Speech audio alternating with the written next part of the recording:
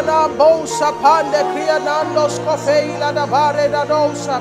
Erana mando sopalate karada basha kei morianazo. Samrondele de kepande prene de bosha da kapaya. Erebonda la da kapande rebonza tekele de bosha ta kabaya. Eile le bonra bade de kala baba baba baba baba sumra da da kabaya. Erabonda scombra de menda la da bash kapaya. Era baba kongre bashanda la tonda barakeida. Ei sole brede de mendo. I campario se telemanda la kaya. Jembre de mando scopa la keido se le mante le ganda. E la bande le kerebo shana la bande le kerebo sataye. E la baia la baia la baia. E le bora la bale cavalele carale. Jarale alla boca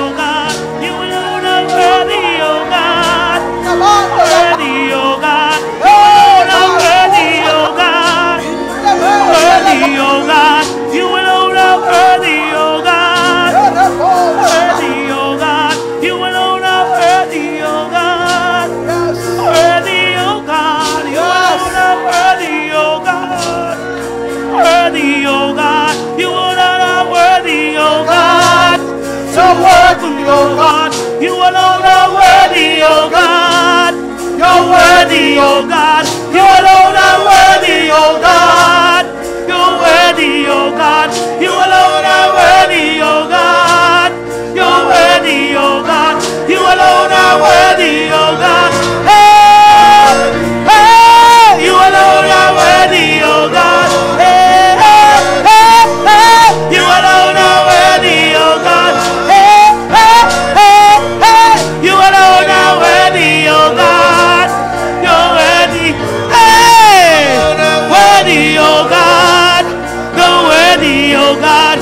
alone are worthy, oh God. You're worthy, oh God. You alone are worthy, oh God. You're worthy, oh God. You alone are worthy, oh God. You're worthy, oh God. You alone are worthy, oh God. You're worthy, oh God. You alone are worthy, oh God. You're worthy, oh God. You alone are worthy, oh God.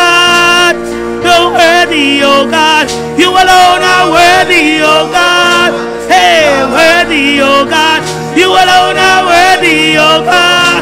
Hey, hey, you alone are worthy, oh God. You're worthy, oh God. You alone are worthy, oh God. You're worthy, oh God. You alone are worthy, oh God. You're worthy, oh God. You alone are worthy, oh God. You're worthy, oh God. You alone are worthy, oh God. Worthy, oh God. You alone are worthy, oh God. You're worthy, oh God. You alone are worthy, oh God. Hey, worthy. Hey, you alone are worthy, oh God. Hey, you're worthy, oh God. You alone are worthy, oh God. You're worthy, oh God. You alone are worthy, oh God. You're worthy, oh God. You alone are worthy, oh God. Worthy, oh God. You alone are worthy, oh God. Oh, worthy, oh God.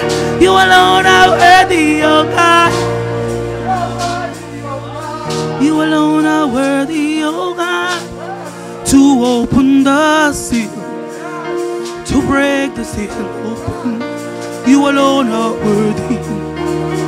Oh, oh, worthy is the Lamb of God who sits upon the throne.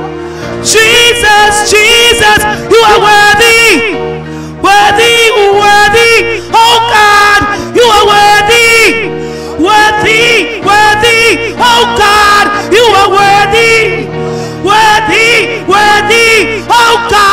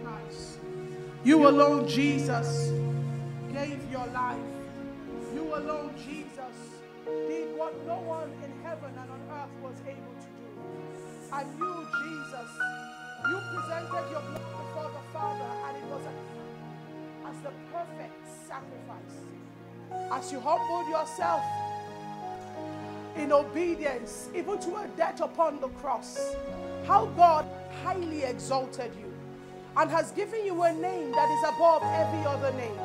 And at the mention of the name of Jesus, all knees in heaven and on earth and beneath the earth bows to the name of Jesus.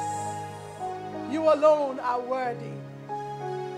You alone are King.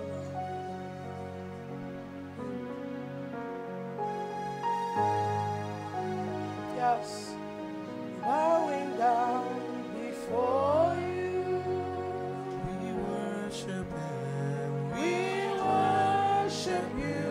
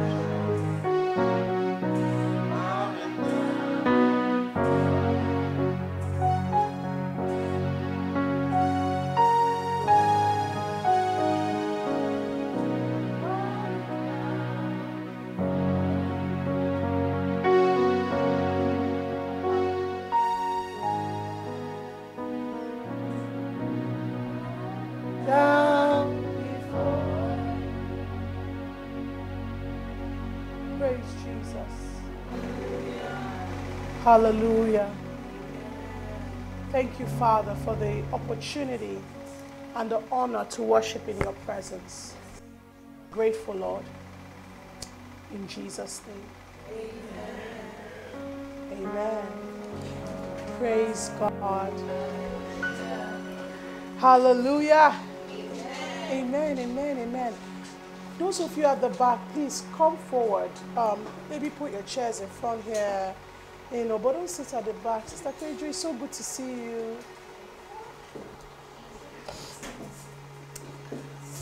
Move forward. Let's not be at the back. Ah, Moya brings. This is how we do it now. yeah, Linda, do you come forward a bit so that some people can shuffle? Uh, can you help down? Yeah. So we can have an extra row over there instead of people sitting at the back where we can't see you. Hello, online family. Where is everybody? If you guys are with me, come on. Where's everyone? Hello, hello. Yes, access. Hi. Hi.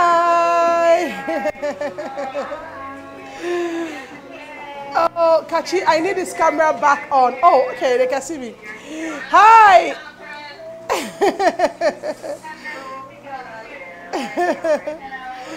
I am going to miss you guys. you have not left me, eh? Thank you. Thank you so much. It's the glory of God.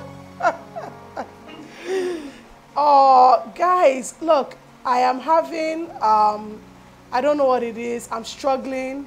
Yes, Access University graduation night, right? it was, it's a whole university that we've, I mean, it's been so powerful. Even I, like, I'm the one teaching, but I have been so blessed. The Holy Spirit and you guys, you rock. Like you've maintained your numbers from day one. He said, Pierre wants to gossip this evening. And then I saw your face and kept quiet. Oh, you were going to gossip and you saw my face, eh?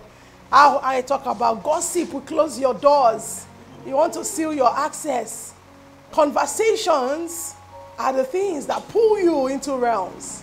Eh? And then you quickly changed your words. Let's keep going, Candice. We cannot keep going. Sometimes it needs to end. Pastor Stephanie, you're not ready to say goodbye. I'm not ready to say goodbye either. Me no here say physical meeting go day tonight. Solomon, don't be angry. It's just the leaders in POI that are here. You know, and uh, guys, you know how Where's Kachi? Kachi, I am, it's muffled. I feel like there's a serious echo in my mic. Yeah, so I'm struggling, but I don't know if everybody can hear me clearly, if those on Zoom can hear me clearly. Sorry? It's clear on Zoom. So it's this so it's this speaker that is a problem. Okay. Queen says so surreal, right? I feel like we've just been in this camp together summer camp or holiday house or something and now we have to all say goodbye to each other you know um, it's because we've all been dining on the same table for 14 sessions please celebrate yourselves 14 14 sessions in seven days back to back uh-uh you people are too much you know caroline you have mixed feelings you know, and yeah, okay. So they are doing nations. So people are saying Canada here, Jamaica in the building. Okay, let's go, let's go. You want to do your nations, let's do it. Who else is here? Canada, Jamaica. Eh? Gobuwang, where are you from? who else? Who else is here? Royal School. Lovely retreat. Oh, they said there's a background noise. Oh, okay. I think I'm not, ah, man, I'm not moving as fast as the charts. Sorry, South Africa, London, Norway. Hey, Sarah from Norway, Ghana, my people, USA, Kenya. Okay, Kaduna, hallelujah, Florida, Uganda. Uganda, you know I'm coming to you. Um, Ethiopia, hey. Oh, this PDK, from Ethiopia. Botswana, hi. South Africa, Zimbabwe, hello guys. Scotland, hello Lagos.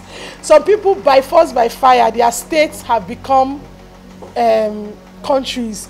Texas, Barbados. Uh-uh. Are you sure that's not where I will come for my birthday celebration? Uh, somebody say Ocean Nation is here. Fantastic. I'm happy for you.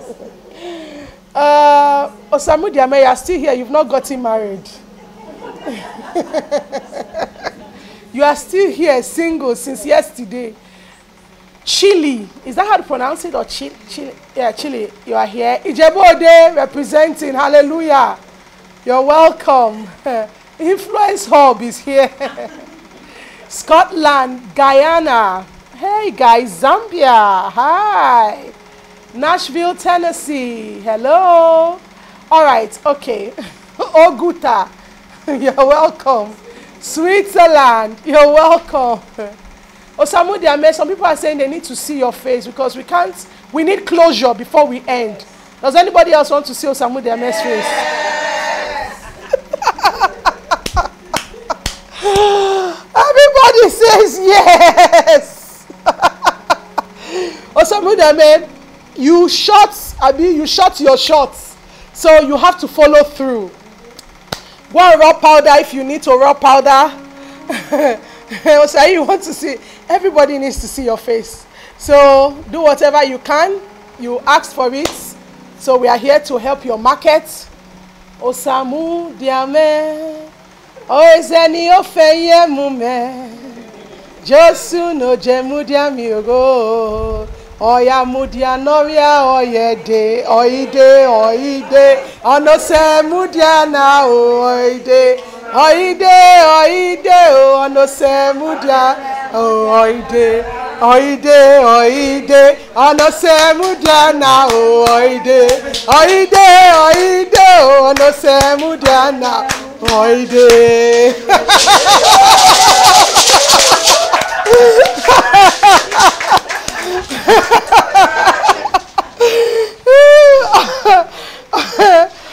we must all admit Osemudiame is one of the highlights of this of this prayer rain. Osemudiame, we need you to have access, okay? Where is he? He has still not. Am I the one that is not seeing him? Is Kachi?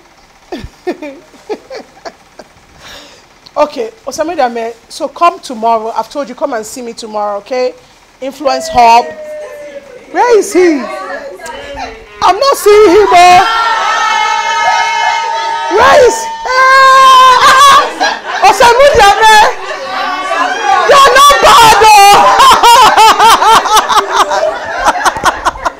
You're not bad. You're not bad.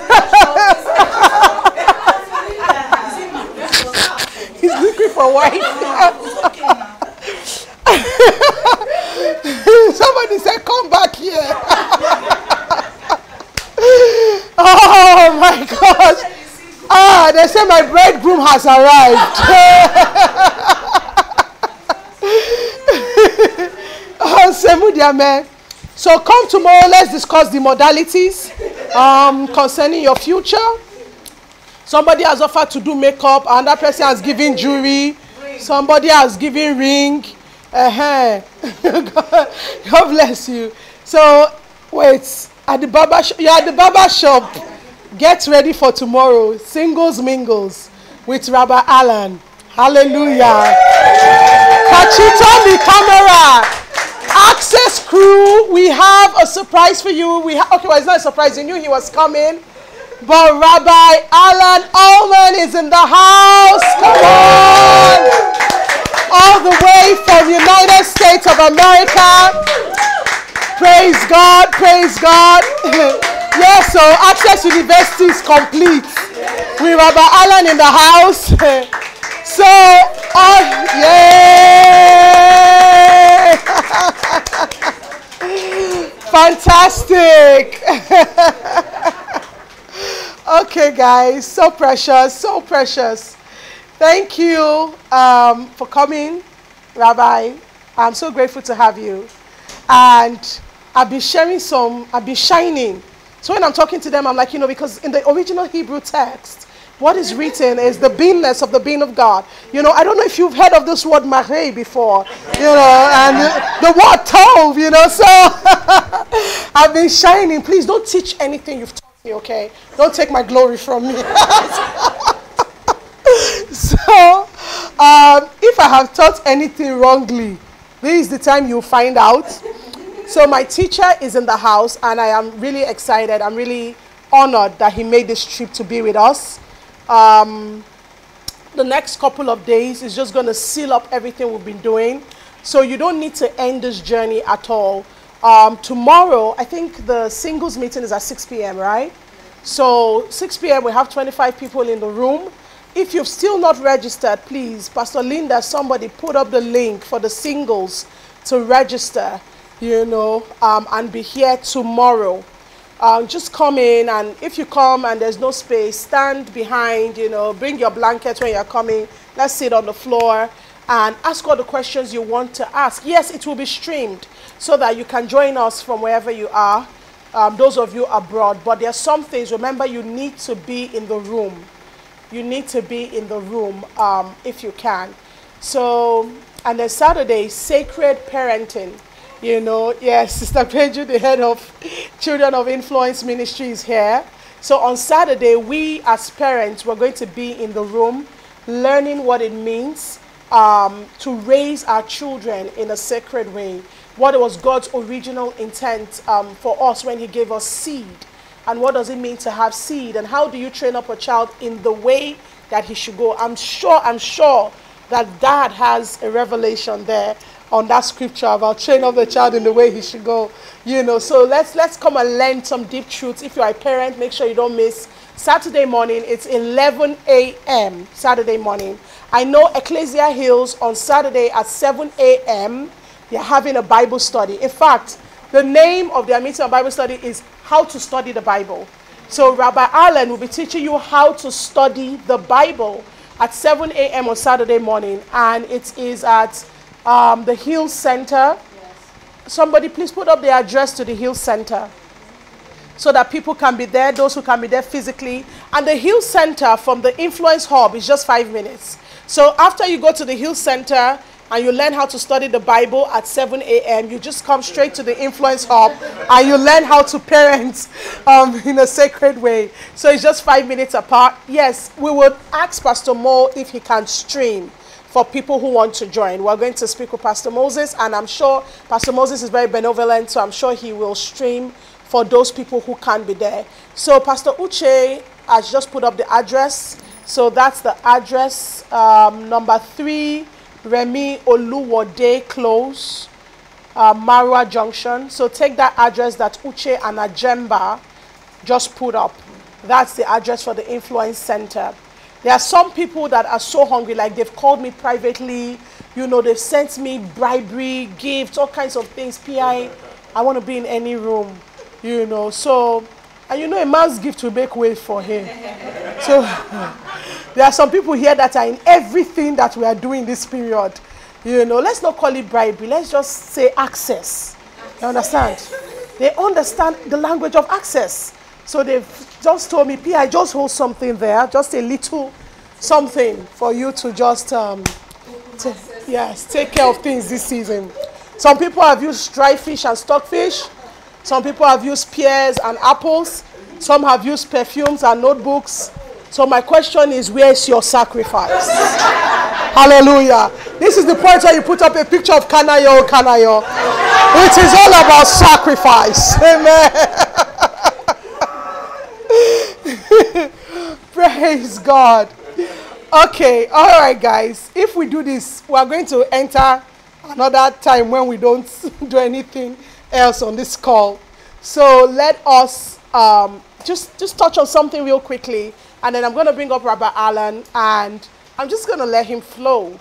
Whatever the Lord lays on his heart, he's just going to pour into us um, whatever God tells him. I have to remove this comment section so I can concentrate.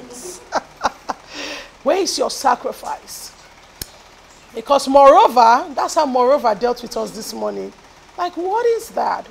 What is the meaning of moreover? Anyway, so um, we so real quickly, let me see if I can remember everything we've learned in the past seven days. So track with me, guys, and tell me if I missed anything. So I think we began with ah, there are some scholars here. Oh. Where are my Access scholars? Access University grad- graduates. Please help help your dean. I can't even find. Hey, Jehovah Shammah. All right. So I think we began, I spoke about what to expect in this season, um, what the different gates that God wants us to touch on. We ended up not speaking about any gate in particular. Um, I was thinking about touching on the possessing economic gates today, but I'm not going to do that. I'm just going to let Rabbi Alan teach us. We can take specific gates next month, right? We'll just know that we've laid the foundation with this month, and next month we're going into details. Um, so we learned about eight components that allow for effective gates, managing your gates effectively. Yes, but before we got there, I began by teaching about the different realms, the physical realm and the spirit realm. And I taught you about the different layers in the physical realm, and I taught you about the layers in the realm of the spirit. I taught you about in the, in the, in the realm of the kingdom of God, in the kingdom of heaven, and then the layers of the kingdom of darkness. Um, maybe next month I'll teach you about the different layers in the kingdom of darkness. And you know how some people say there is hell, oh, lake of fire, you are rebuking demons, you're like, I cast you into the lake of fire. You cannot cast anything into the lake of fire because the lake of fire does not quite, is not opened yet for business. So it is after the millennial reign of Christ that Jesus will cast hell, death, um, the Antichrist, and Satan himself and all their agents into the lake of fire.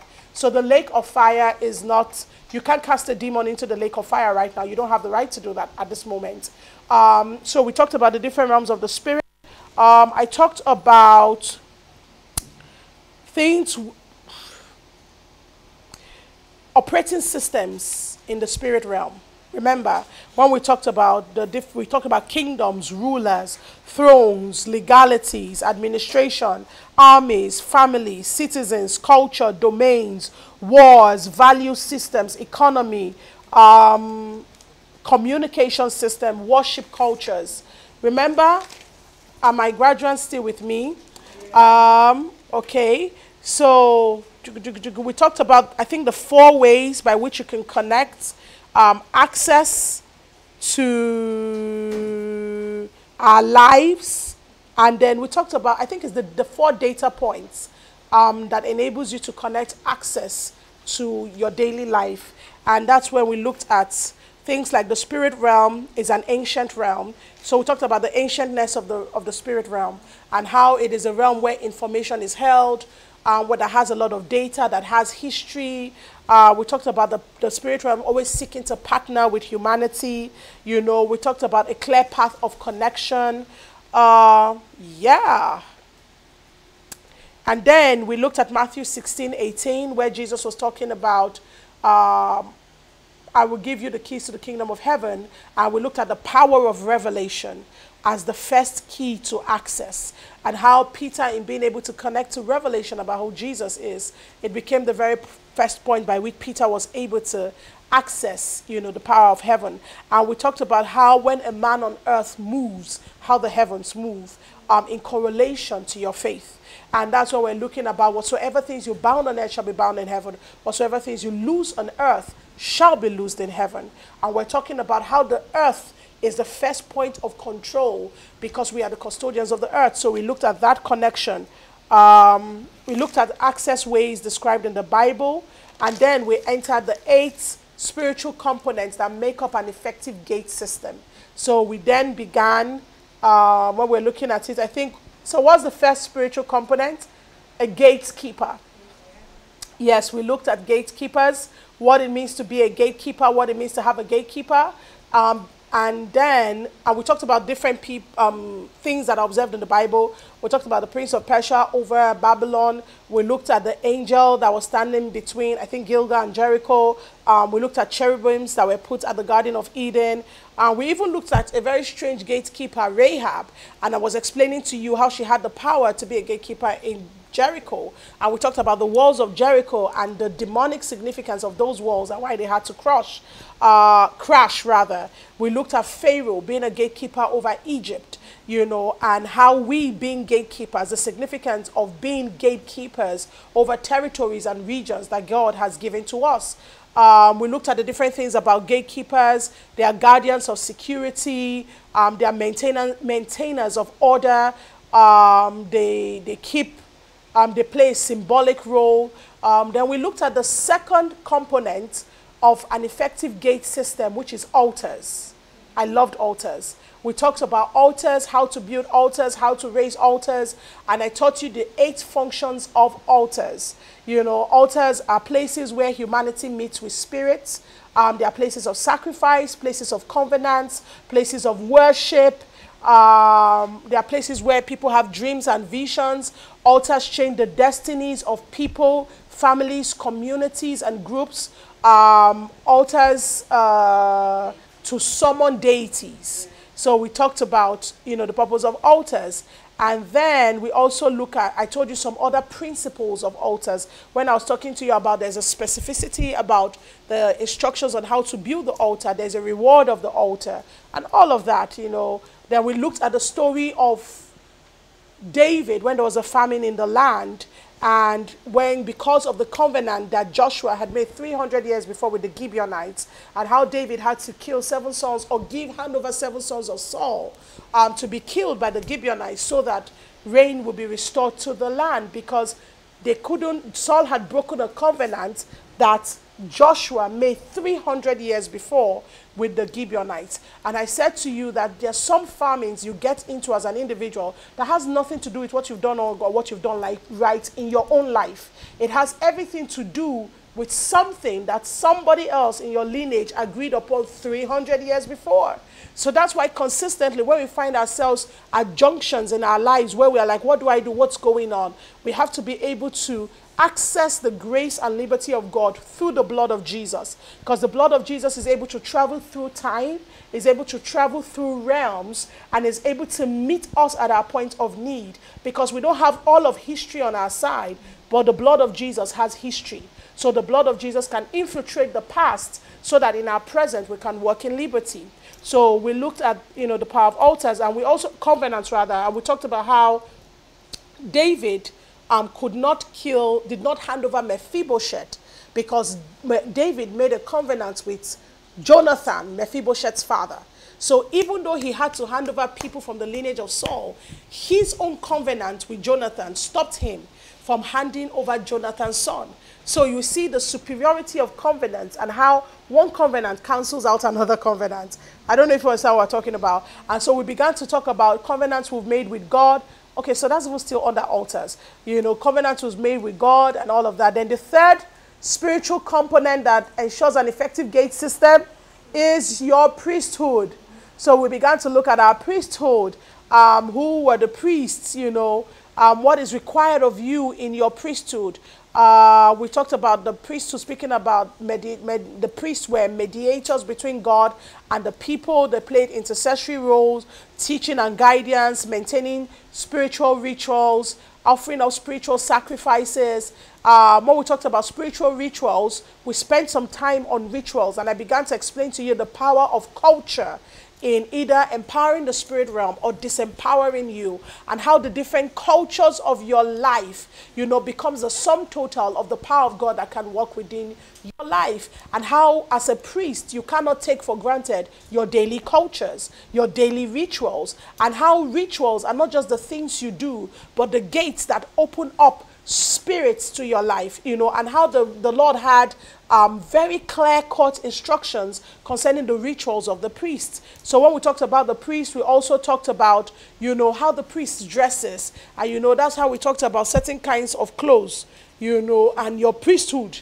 And how, as a woman, don't wear the clothes that they can see your kidney because of how tight your dress is. We can just see the x ray of your heart beating, you know. So we address certain matters when we're talking about our priesthood. We talked about the sound of the priest. You know, what sound comes out. You know, we talked about the different protocols, the burning, the offering up of incense in worship, and how God was very particular about all of these things. How a priest must be learned, and how the strength of your priesthood is the strength of your altar, and the strength of your altar is the strength of your access. You know, so we looked at the connection between all of this. I'm rushing, I'm trying to uh, put together everything we've learned in 14 sessions. I'm trying to put it into one session, you know, and we looked at Jesus, our great high priest. The number fourth spiritual component, we talked about sacrifices. And this one left a lot of people repentant. You know, I even felt so burdened when I finished. I was like, oh, you know, we just all felt like, are we doing enough? Are we giving enough? And we began to talk about the power of your sacrifice, you know, and how we look back at people like Cain and Abel and how down to even like the first murder or the gates that opened that first act of violence started from a sacrifice, you know, and how sometimes, you know, what you're laying on the table is very vital and how your sacrifice can get you into doors. And we were talking about, and I don't know if I shared a bit about Cain and the state of his heart and not even, as opposed to getting angry with Abel, how about going back to God and saying, God, what did I do wrong? I think I touched on it a little, and I said it was Nathan that was telling me, you know, the gates that Cain opened the gate of pride, you know, and the gates of murder and the gates of unrepentance, you know, and we talked about how it led to a vagabond spirit. you know, and how people have a vagabond spirit, never stable, always here and there, moving around, and how it takes God actually just putting a mark on you so that you, you can have mercy in this life, you know. And so we, we looked at that um, sacrifice, atonement for sins, expression of devotion and gratitude, foreshadowing of Christ, you know. Then number five, we looked at covenants. It was a very interesting topic when we talked about covenants, responsibilities, commitments, promises and blessings, and all of that. Then the sixth one was food, you know, maintaining an effective gate system. And we went in there when we really talked about food.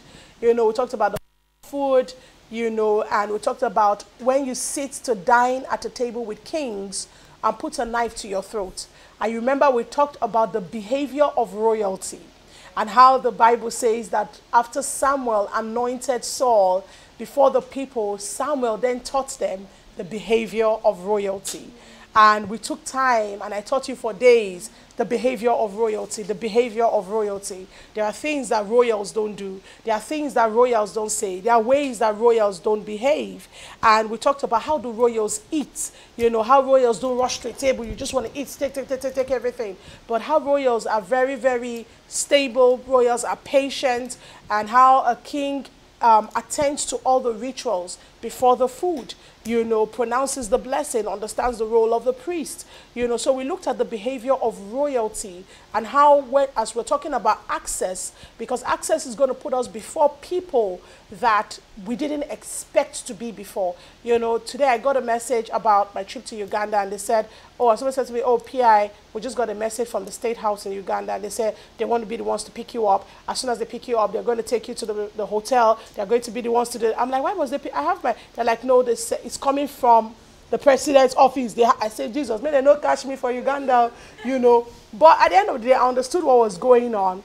And I said, there are certain messages you preach you have to be ready for the effect of it, you know. And so just a thing of, oh, I'm going to survey the land turns into, you know, we want to be the ones to pick you up, take you, do your test, bring you later in the evening for our meeting, you know, and all of that. And, but to be able to attend to the promotion that access will bring to you, remember that scripture, if you're a man given to appetite, when you sit before kings to dine, put a knife to your throat. So you don't go to a king's palace, oh, can I get this? Can I get this? I want this. Oh, what about this? What about this? You, you, you, you curb your appetite, you know, because kings can differentiate royals from peasants by the way they eat.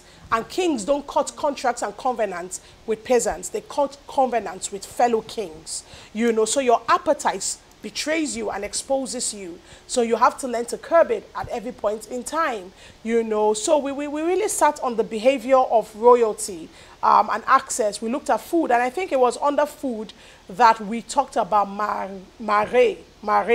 And I taught you guys about Eve seeing the fruit. I taught you about Moses seeing the bush that was burning and was not consumed. And then we went to Uncle Davido. Hallelujah him and Bathsheba, you know. Rabbi, am I, am I doing well, sir? I'm tracking, eh? Are you proud? Are you proud of me? Very. Fantastic. so. no, no, no. We need you. We need you to bless us tonight.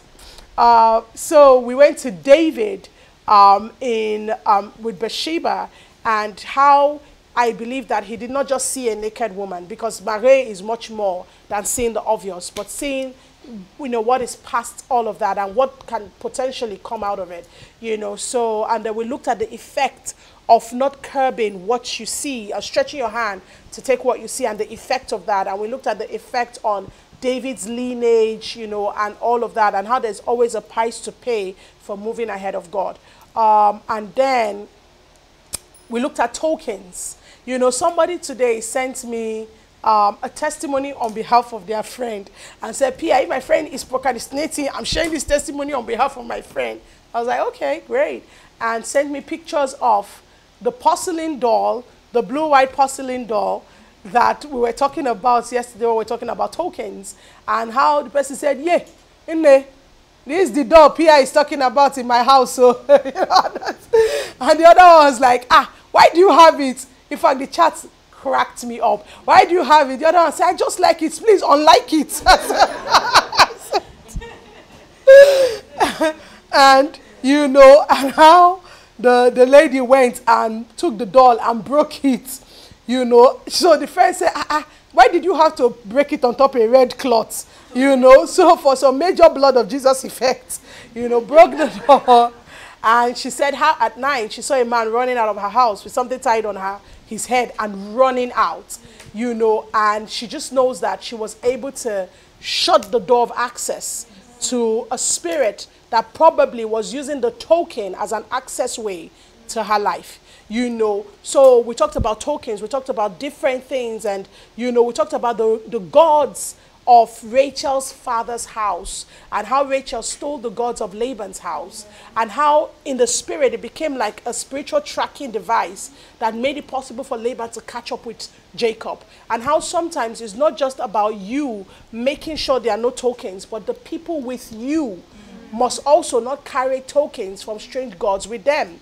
and how we can expose you in the spirit realm. I remember we looked at that scripture when God made a covenant with Abraham and said to Abraham, I will bless you and everyone that is with you and all the creatures that are in your house that are with you.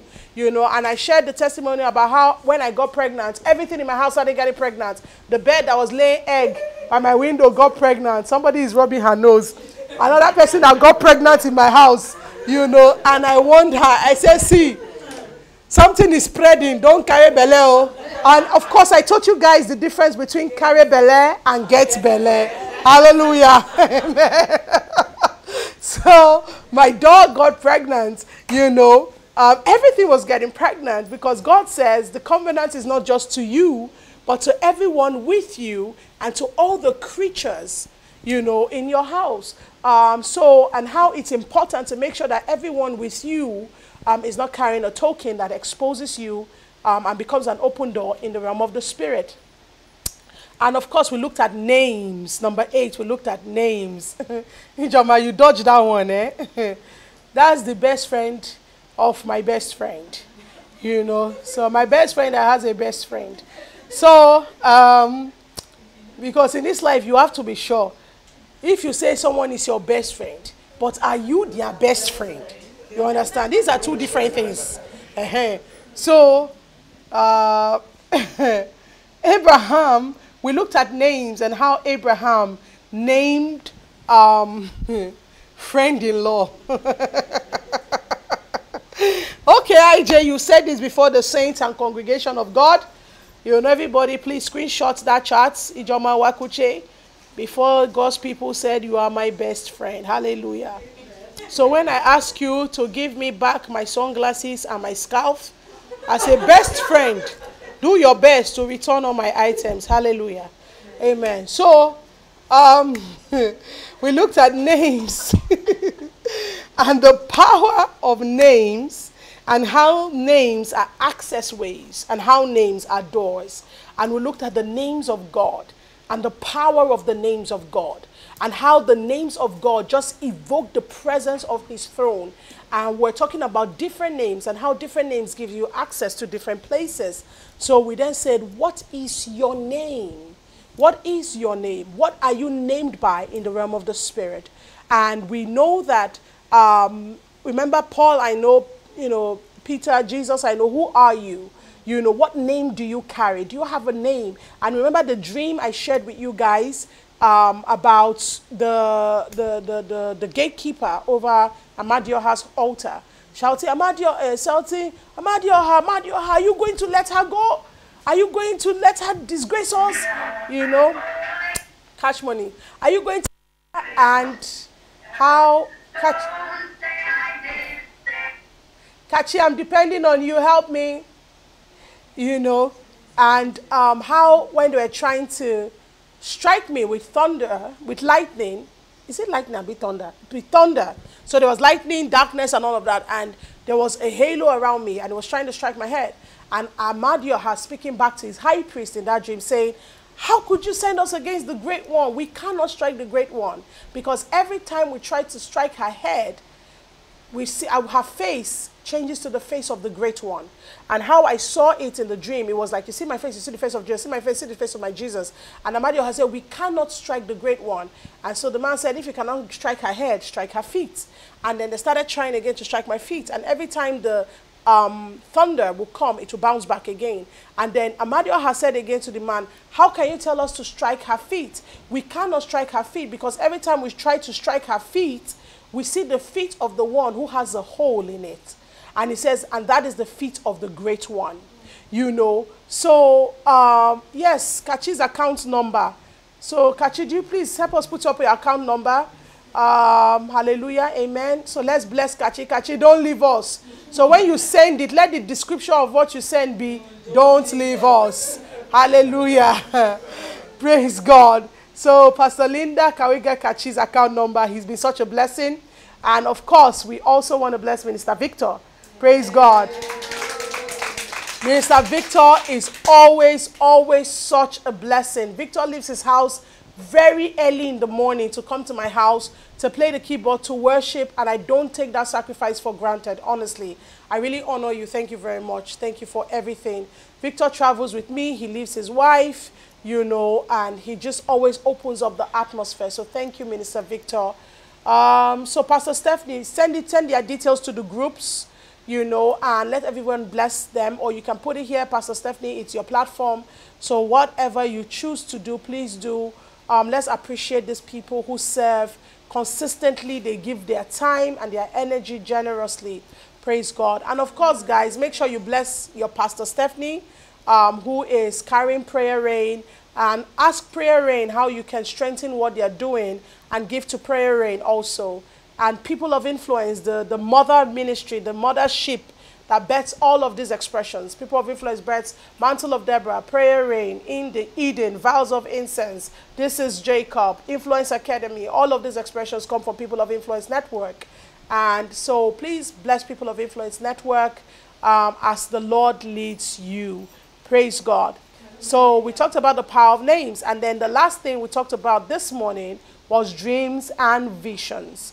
And how at the point of gates and open are open ways in the realm of the spirit and how one of the evidence that you're sitting under open heavens are the visions you have, the dreams you have, you know, and we talked about stewarding your dreams, stewarding your visions, you know. So many people have reached out to me and they've sent me their dreams and they're like, Pierre, help me interpret it. No, I'm not going to help you interpret it. You have to learn how to interpret dreams and visions. So here is my advice to you. Right now, go to Instagram look for somebody called Oti Longe, O-T-I, then his surname is L-O-N-G-E. Um, if you can't find Oti Longe, look for Dreamer's Corner. So he runs courses on dreams and interpretation. He is an amazing, amazing teacher. He's a friend of mine. I trust him. I trust his doctrine. Um, go and pay for a course. Go learn how to interpret dreams, get, uh, get materials, you know, let Oti invest in you. You know, ask him, how can you take it forward? How can you take it further? You know, because we shared about how dreams are part of the major signs of the overflow of the Spirit in this last days. Now, this is just a very short recap of a journey that we've all gone through for 14 sessions. Um, of course, all of this was interjected with prophetic prayers, was interjected with prophecies, was interjected uh, with word of knowledge, and um, just times of repentance, times of refreshing. And I have received so many testimonies, but I think that one of the greatest testimonies that I have received amongst all of them is the consistency. People consistently say, I feel closer to God again. My intimacy has been restored. My prayer life is back on track. I, I appreciate revelation again. I feel like I want to study the word of the Lord again. The presence of God all around me. These are powerful testimonies, and I'm so grateful. We also got testimonies of healings. We got testimony of promotions. We got testimony of um, access granted in terms of proposals, you know, and job offers. All kinds of things have been happening. So I am expecting. Uh, yes, thank you, Angista. Go ahead and follow him. Fantastic. Um, I am expecting testimonies of pregnancies. You know, we prayed for wombs, we prayed for babies. So, uh, married women, and married men, do the needful. Follow up the prayers with what is necessary for you to carry belle. Hallelujah. The Son of God is already born. A virgin is not going to give birth to another child again. We all have to do what we have to do. So praise God. I believe God that by this time next month, we're going to be testifying of pregnancies, and by the end of the year, and by next year, um, June, I think, we want to have baby dedications. Make sure you invite me to your baby dedication. Hallelujah. Praise God. Praise Jesus. Hallelujah. Hallelujah. All right.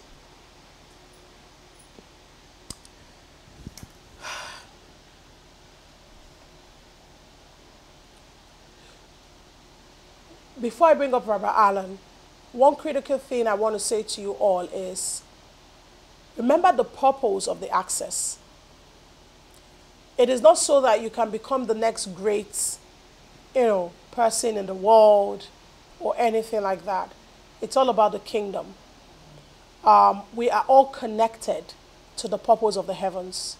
Remember, we talked about the strength of one man and how you are that one man that God needs you know, not underestimating the role you play in the destiny of the heavens and the earth. And so when God begins to give you access, it is not because um, the Lord is just trying to, you know, promote you so that you can come and testify of how you got your G Wagon, and those things are good. But there's a greater purpose attached to it all. So as you testify of the things happening to you, sit back and ask yourself, why? Why is God doing all of this? Remember the scripture we shared this morning about Joseph and how um, God had called for a famine and he had seized the harvest of the land and he sent a man ahead of them and his name was Joseph and how the word of the Lord did not come to pass until the word had tried Joseph.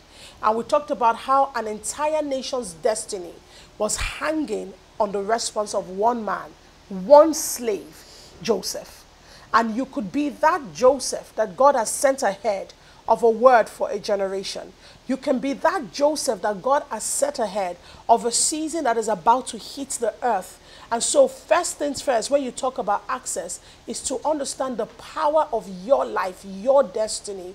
I know that sometimes as Christians, we're taught to say, you know, I'm nothing, I'm just, oh, simple man that I am, you know, and sometimes it's actually false humility. It's good to be humble, but I remember I told you guys how God taught me what humility really means. And He says, you see, humility is not acting small or trying to build to accommodate people's insecurities. That is not humility. Humility is saying yes to everything that I say yes to. So in the day that I say, rise up and be a king, you say yes. You don't tell me, oh God, no, you know, the throne is not for me. You're proud. You see that thing that looks like pride, um, that looks like humility is actually pride. Telling God, no, you know, I just want to sit at the back. Why? Humility is really accepting the will of God, accepting the instructions of God part time, and saying yes to whatever the Lord says yes to. You know, so um, I, I want us to have a heart of humility, you know, as we receive these words about access. And my prayer for you in the name of the Lord Jesus that this will not just be oh, an experience that you have, but this will become the new culture of your life. That access will be a culture. That access will be your daily bread. That access will be normal for you that every time you set yourself to plow the land, that God will give you access. You will always have your harvest in season. That before men you will have favor. That everywhere your name is mentioned, that favor will accompany your name. But I also pray that this teaching of access will also open up places in your heart that the places of your emotions, the places of the goodness of your soul that had been sealed up and broken by previous disappointments, that God will heal your heart and grant you, grant you access once again. Access to the goodness within you, access to the kindness, the joy, the peace, the love, the soundness of mind within you. In the name of Jesus, even as we have said, that you have to possess the gates within you before you can possess the gates around you. I pray that this will be your season of mastery, where God will begin to show you how to see and understand all that He has placed within you and to master the protocols by which God governs your specific destiny. In the name of Jesus, you will not be blunt in the spirit. You will not be dull in the spirit, but I declare that you are a sharp threshing instrument, and I declare that the glory of God rises upon you. Therefore, kings will come to the brightness of your rising. There is one point where you receive access for what you need, but there's another place where you become the access that kings require.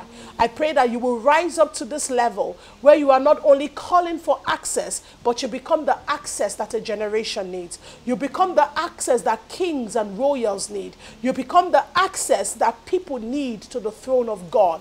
In the name of Jesus, may your words carry weight. May your thoughts carry power. May God be able to trust you with the destiny of the heavens and the earth. And even as you pray that God gives you seed for your generation, I pray that God will fill the womb on the inside of you with the seed of the future so that you will not only have access to your day, but through your seed, you will have access to futures unknown. In the name of the Lord Jesus. God bless you. God bless you. You guys know that I love you very much. And it's been my honor just journeying with you. And I look forward to all that God is going to do um, next month when we do access again. And I kind of feel like access is not just a topic, but access is like a movement that God is raising. You know, teaching a generation how to access the depths of God, raising a generation of people that understand how to access the realm of the Spirit. I believe that access is a spiritual movement that God is raising. Hallelujah. So we have not ended. Uh, you know how we do it now, you know, around 9.30 to 10. That's where we're going to leave. So um, I'm just going to call up Rabbi Allen. I, I, I, don't know what God has put on his heart, you know, whatever he wants to say. Um, but I'm just going to have Rabbi Allen actually just seal it up for us and pronounce God's blessings over us um, before we leave. Are we still together? Guys, if you are still with me, I, I want to see that comment session here.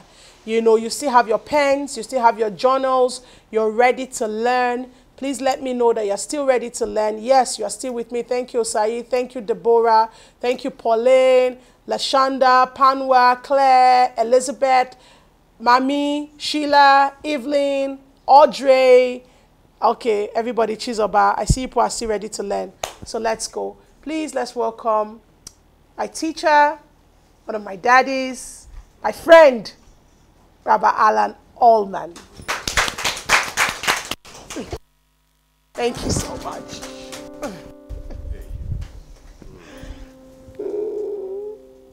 Thank you so much. Oh, yes. All right.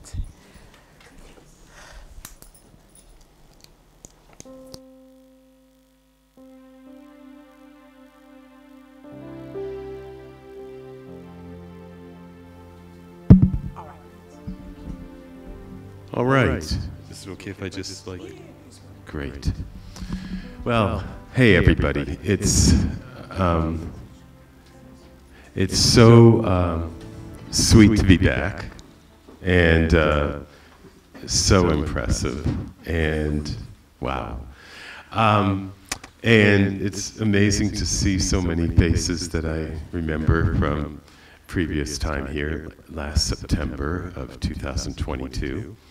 And so, what I'd like to, I was actually planning on teaching on one thing, but as uh, PI was leading us, it dawned on me there might be something that might be very helpful in terms of the conversation of access.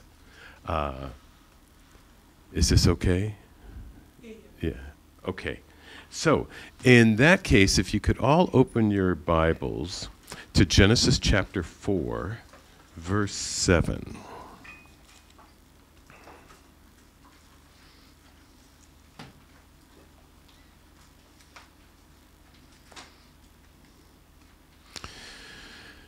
Genesis 4 7. And I believe, um, well, this is a translation uh, of the verse. Uh, surely, if you do tov, good, and good there is a verb, incidentally, there is uplift.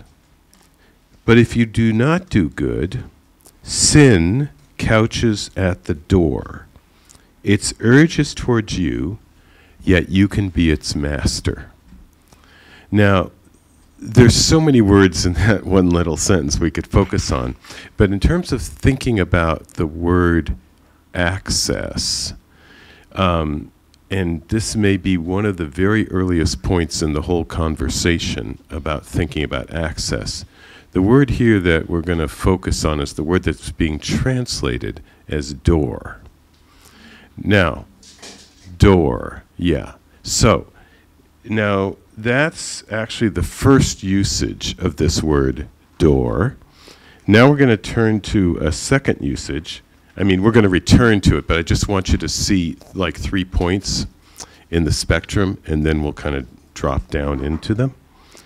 Uh, and the second one, we're in Exodus chapter 12, and it's verse 22.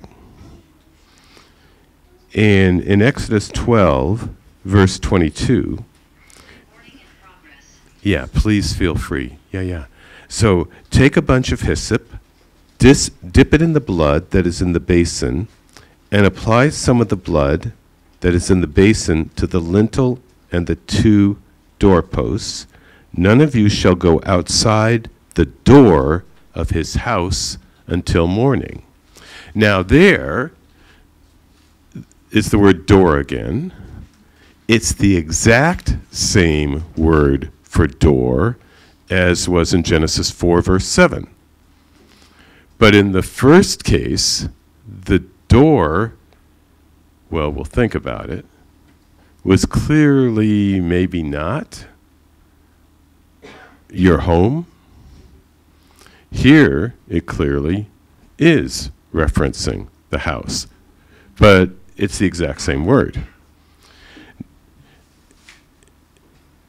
So sin was crouching at the door the first time, but here it's the blood that's going over the door. Now we're in Exodus 33. There will be many references, but I want you to just have three so you can start to see a trajectory and see how it works, and then we can start to understand what's going on. Um, we're in Exodus 33, verse 8, and of course, we're going to return to all of these. Um, Whenever Moses went out to the tent, all the people would rise and stand, each at the entrance of his tent. And, and there, it's the word entrance, is that word again. So it was door in the first two cases, and in the third case, it's the word entrance. Okay, but now we're talking about the tent of meeting, which is something completely different from whatever it was that was the door in Exodus 12.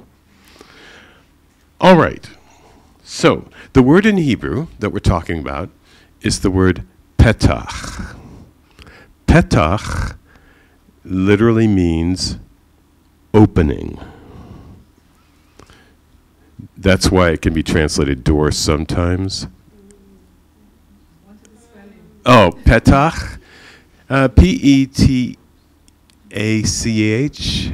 Yeah, P E T A C H. We're all making it up on that part of the, you know, what I would call the transliteration of the Hebrew into the. Yeah, so petach is being translated as door or entrance. It literally means opening. And of course, that's just the very, very beginning of this conversation. But before we dive in, did all that make sense? Stop me if anything. Okay, we're good. All right. So, now,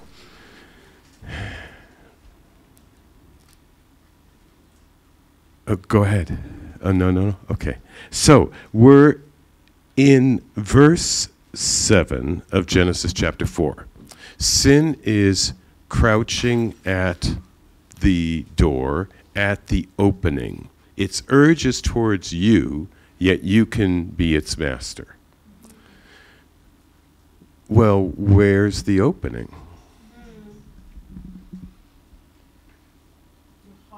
Ah, your heart. Okay. So, let's let's track on this. Sin. Ha, had, have you talked to them about sin?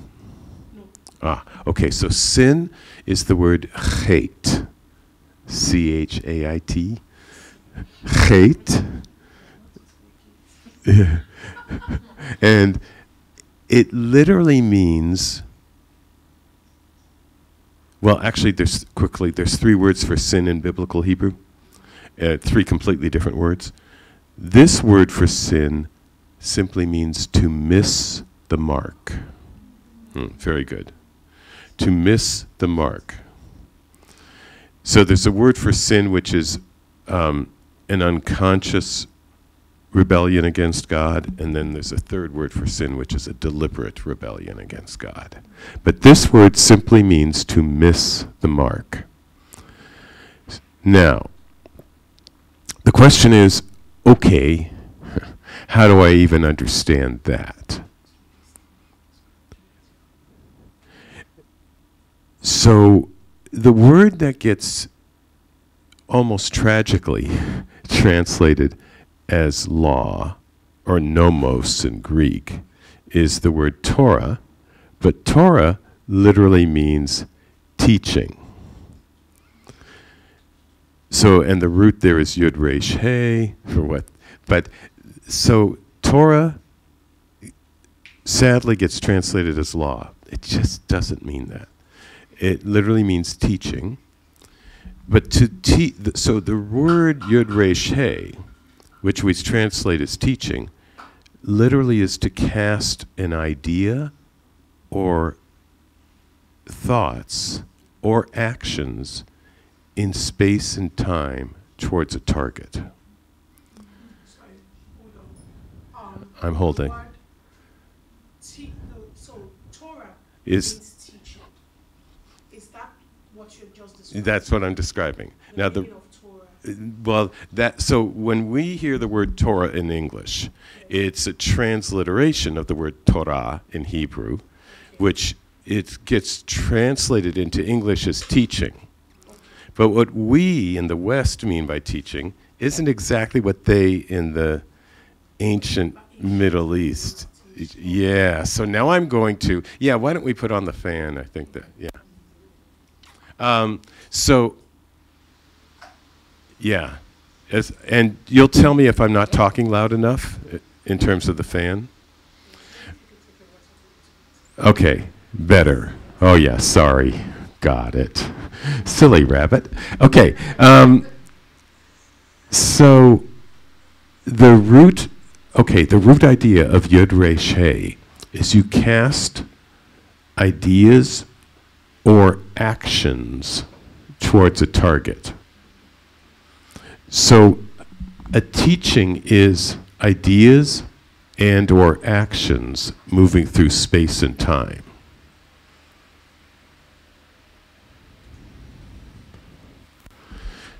So a teaching is quintessentially got to be a verb. We oftentimes think of a teaching as a noun.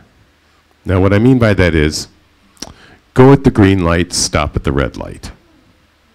Well, once you know how to do it, it's done. That's not what we mean by teaching in Scripture. A teaching is something that is ever growing, ever challenging you, moving through your life. So, now, to get at the relationship between teaching as ideas and actions moving through space and time through it towards a target, and sin, chait, miss the mark, I need some volunteers. Uh, yes, with the glasses. If you could stand up and just step back. Perfect. And then if you could uh, stand up, pretty much right where you are. Okay, now, if you could stand up right here. Okay, so here's the teaching that I'm setting in motion. I want my five year old and two year old to love the Lord. Now, this is five years down the turnpike. I could look up, oh, and the target is over there. Everybody got it? So that's the target, loving the Lord. I could look up five years down and think what? Yeah, I- I'm doing okay. I'm doing pretty good. But then you could start to notice that I'm getting a little bit off the mark. But now, if you could move a little more. Yeah, perfect.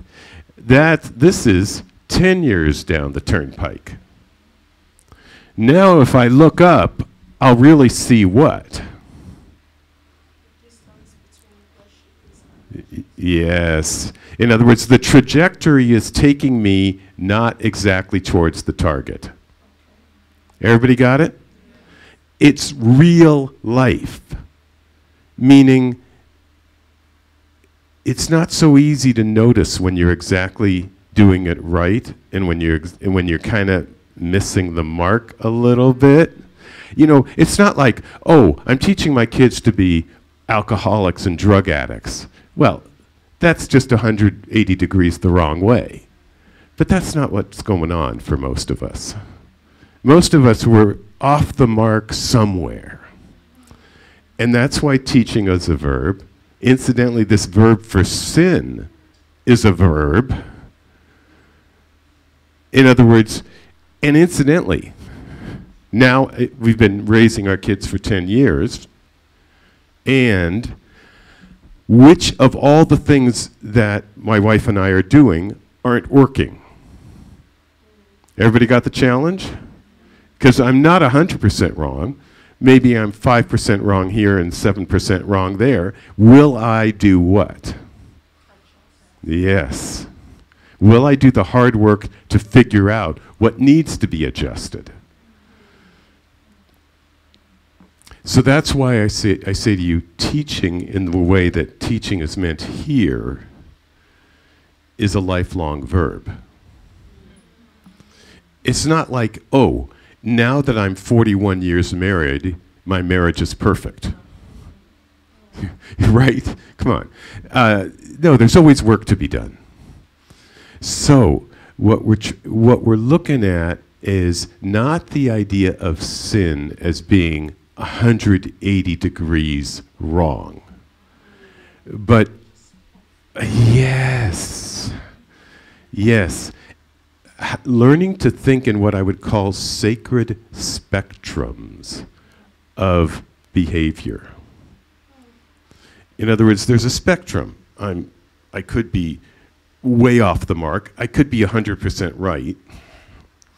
But rarely am I that far wrong, and rarely am I that far right. I mean, that completely correct. And we're all kind of playing somewhere in that spectrum. Okay, thank you guys so much. Now, sin is crouching at the opening. Well, before I go to that, questions, comments, thoughts on any of this? You're looking like about 10 thoughts. So, no, I, I mean, that phrase just stuck in my head when you said sacred spectrum.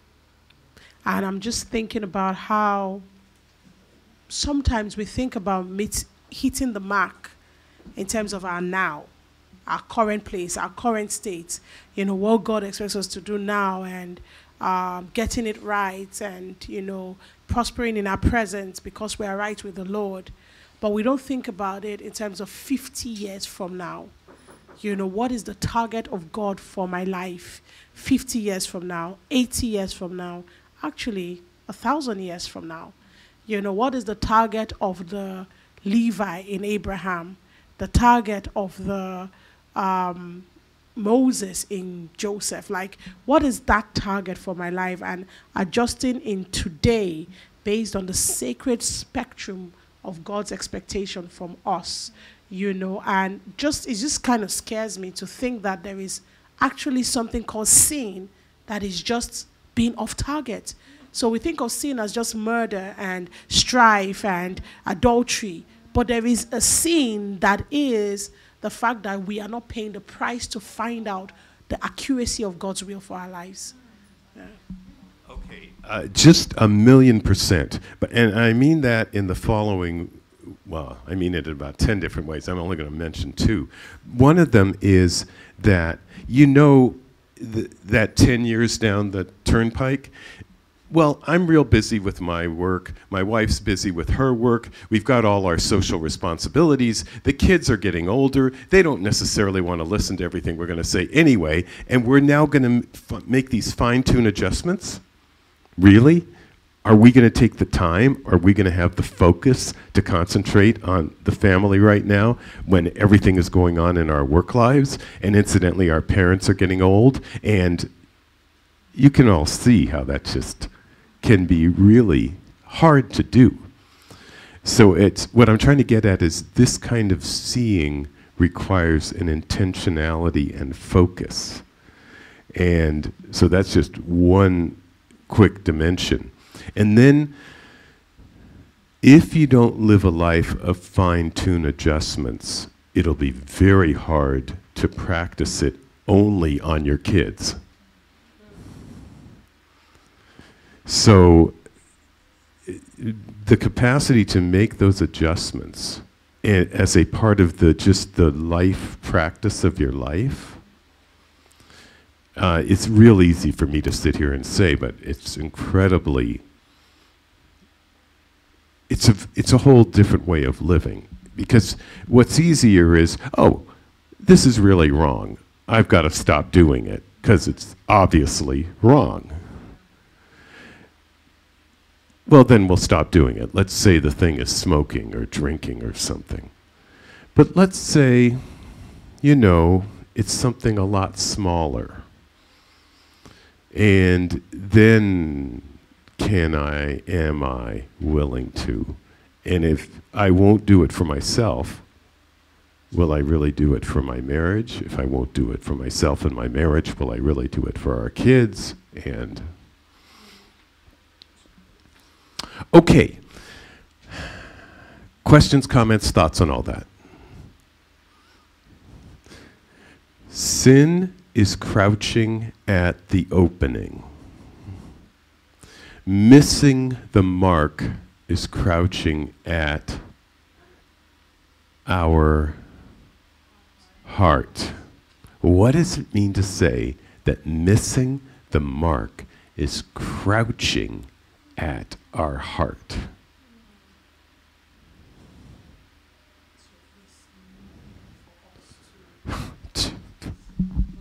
so it is normal for us to go and be in rebellion to God. It's normal for us. So it's the natural disposition of the fallen man to want to do the opposite of what God requires of him. I think that's the drop down mega headline of Genesis chapter 4, verse 7. This is normal. Now, are you going to be willing to do what? Yes. Are you going to be not normal? And I want to suggest this is one of the pieces that I genuinely believe Jesus meant when he said, in the world, but not of the world. Meaning, no, don't be normal. Don't be like everybody else. Don't just say, hey, I said I want to teach my kids to love God. That's what I said when they were born. I sent them to church. That's it.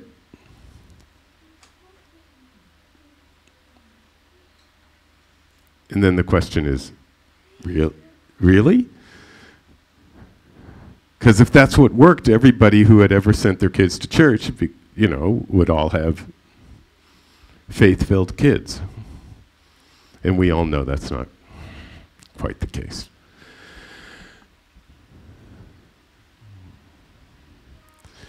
Sin is crouching at the door.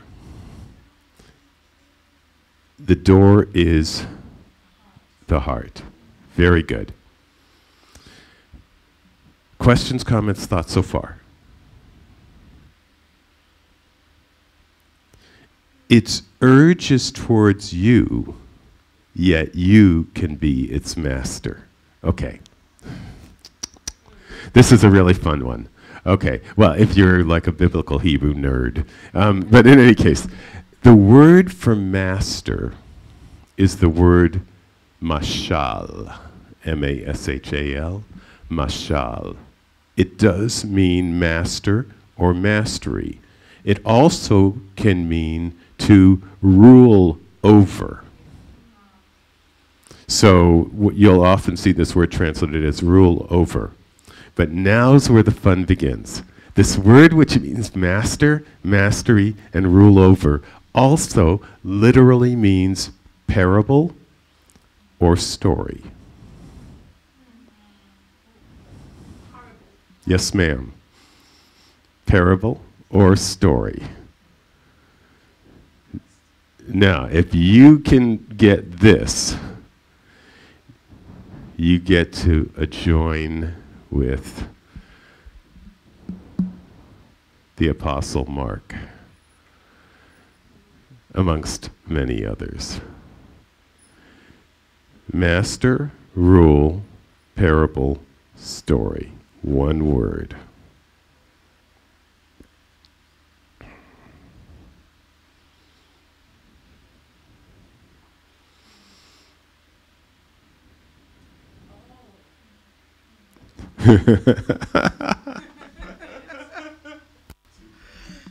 Okay, so um, sin is crouching at your door, but you can master it.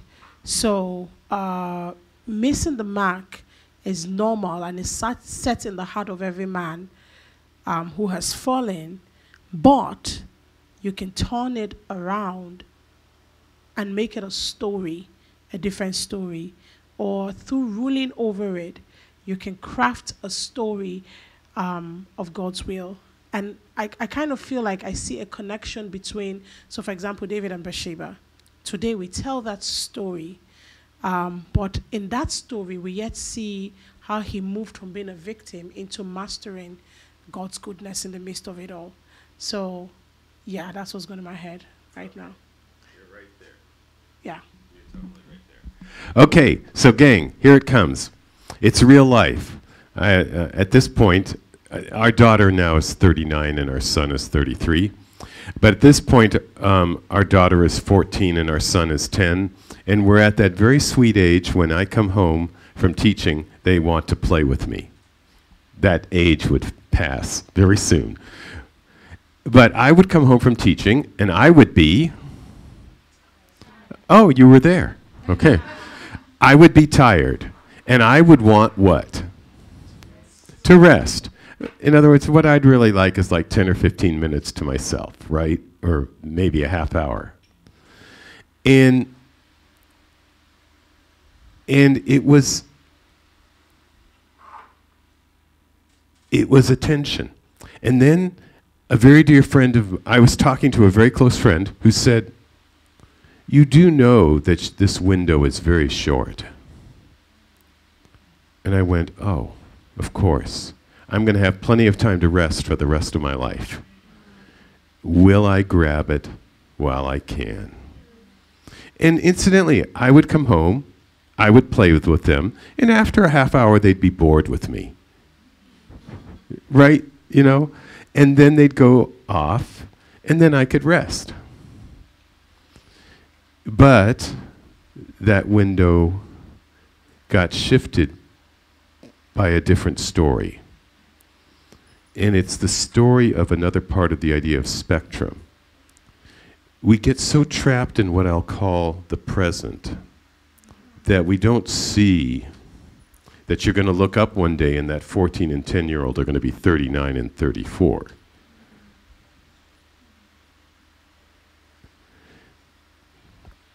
Okay, this goes to another.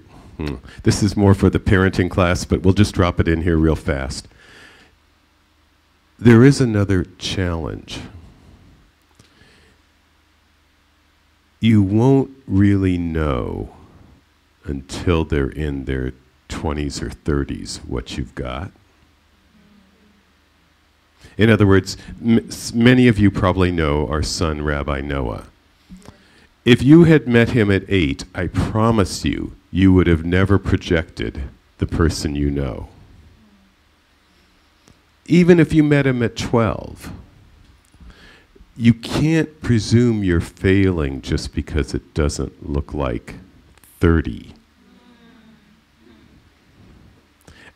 If I could sh- shift the wiring of one thing in most parents' brain. They're looking at their 12 year old, they can't see how it's possibly going to turn into anything reasonable at the age of 30, and they feel like they are failing.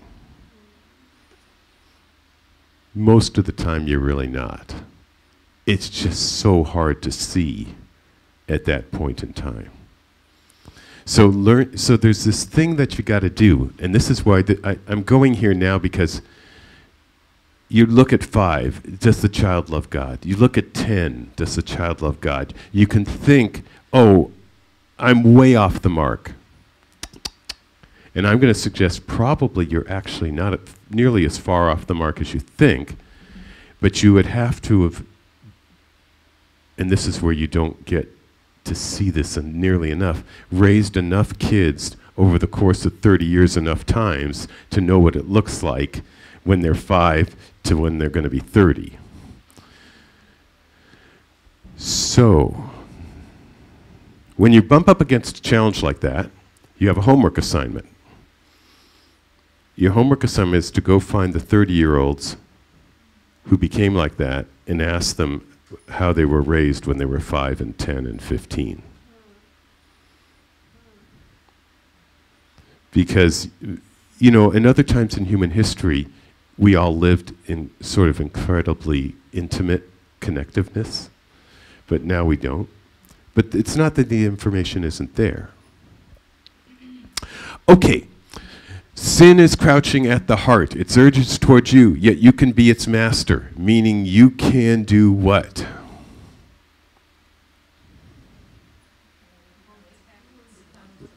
You can overcome it. Ah, louder. You can be the one with the help of God to craft the story. Ah, think about the story you're telling. If you're saying to your kid every day when you come home from work, I'm tired, I don't have time for you, is that the message you really want to send?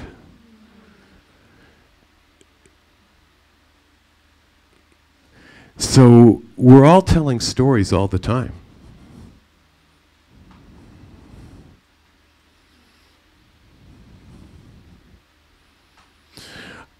Okay, good.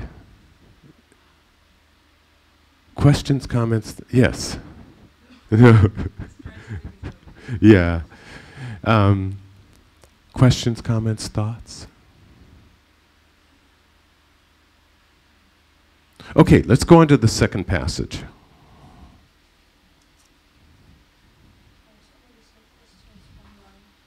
Ah, go ahead.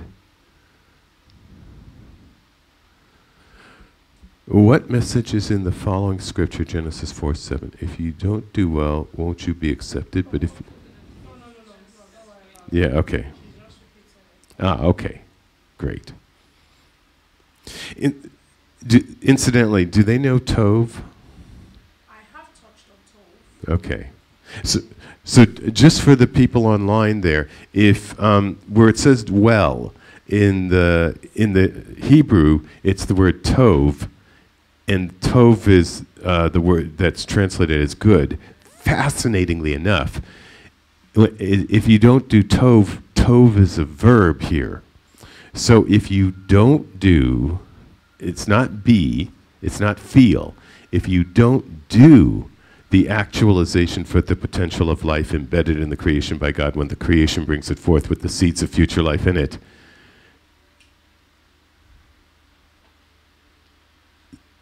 then there will be no uplift. It's about what you do. Okay. Yeah, leave it there. Oh, pardon? We didn't hear your definition of Tov. Oh.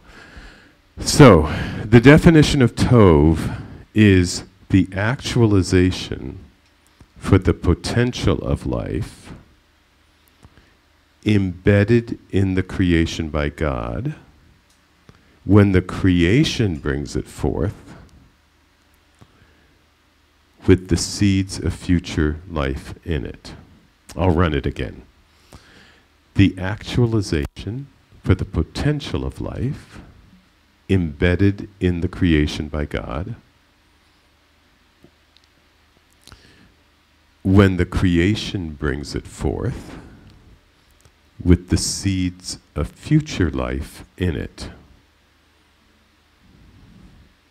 And of course, once you see this, you'll realize oh, of course, you judge a tree by its fruit.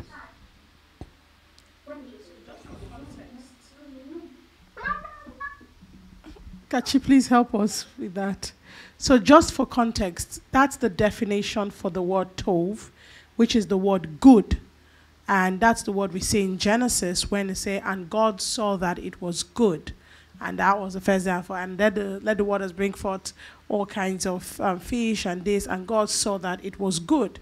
And so it's the same word that was used when he said, It is not good, it is not tov for man to be alone. So man did not have the actualization for the potential of life embedded in creation and did not have the ability to bring forth the seeds of the future as long as man was alone. So he said it is not tov for man to be alone. So that's the word Rabbi Alan is defining. So, and that's the word that was in Genesis 4 7. If you will do tov, meaning if, you know, to be personal, if I'm a person who spends my life teaching the word, then part of my tov is to raise up people who would teach the word. And the tree will be judged. Now, I'm the tree in this example by its fruit. And it's not simply children, well, or it is, but it's all the children, not just a biological child necessarily. But there's a really important puzzle piece in all this, which is yes, I need to learn how to see when I'm bringing forth Tov, but also, what else do I need to see about myself?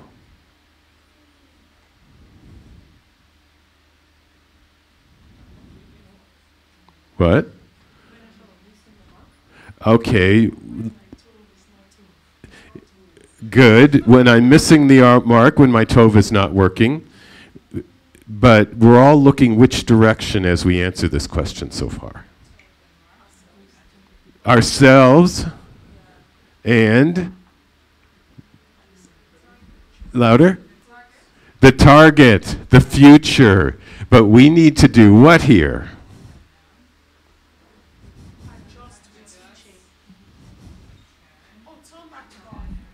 Well, we need to turn back to if I'm standing here before you teaching, I must be somebody else's student. So on that level, I need to see, ah, and that will ultimately take us back to God. Exactly right. But before I get to God, if I'm standing here, I am somebody else's. There's a tree behind me. I am someone else's fruit. Got it? So it, you see, there's this way of living life where we kind of get stuck with always looking in only one direction, as if somehow it all started with Alan Ullman. No, it doesn't start with any me. There's all those who came bef before me who guided me that got me to here. And so and incidentally, this is what I really want to represent to my kids. there is a lot of stuff that came before. And there's a lot of stuff that's going to come after. All of this stuff is of the Lord.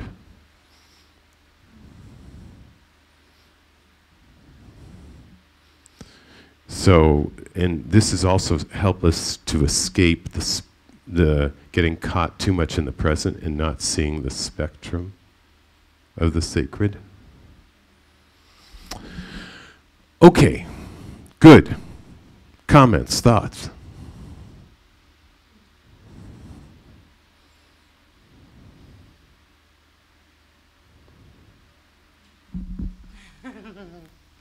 What is in my on my mind is if you don't know the tree you have come from when you as a fruit you are becoming a tree you can't even tell if you're growing right. So we all take our sense of identity from where we have come from. So if you cast off where you have come from it's very most likely that you will never be able to craft yourself into the perfect picture into the right picture. So we must all look back before we can effectively look forward In other words, if we're thinking about trajectories, to see the trajectory starting behind us and moving through us.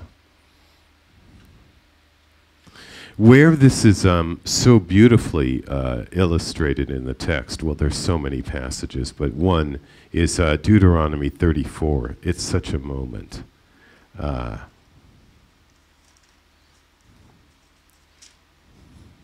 So we're in Deuteronomy 34, and um, verse 1 Moses went up from the steppes of Moab to Mount Nebo to the summit of Pisgah, opposite Jericho. And the Lord showed him the whole land Gilead as far as Dan, all Naphtali, the land of Ephraim and Manasseh. Uh, and then, and then in verse 4, the Lord said to him, This is the land which I swore to Abraham, Isaac, and Jacob. Anybody got what just happened there in terms of what we were just talking about? So the Lord is showing him on top of Mount Nebo what? The future. Everybody got Dan, Gilead, all those tribes. But where are the tribes at this moment? Yeah, well, they're on the other side of the Jordan. They haven't crossed into Canaan yet. So, everybody got it? All those tribes are not there. But what God is showing him is what he would see if he lived another hundred years.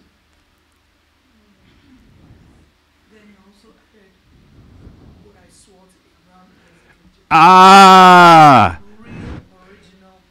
Exactly right.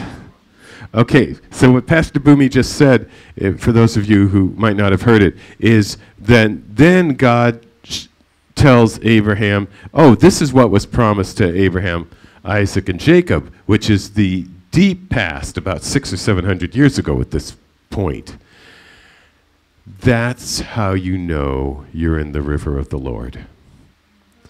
The deep past." Throwing through you to the sacred future, and you inhabit it all at the same time. Yes, ma'am. And I want to suggest, for the most part, we get stuck in what I would call the ephemeral present, meaning next week, last week. Um, whereas if we could see this big picture, what the Lord has, and gang, what I'm trying to get at is the Lord is giving it to Moses to know.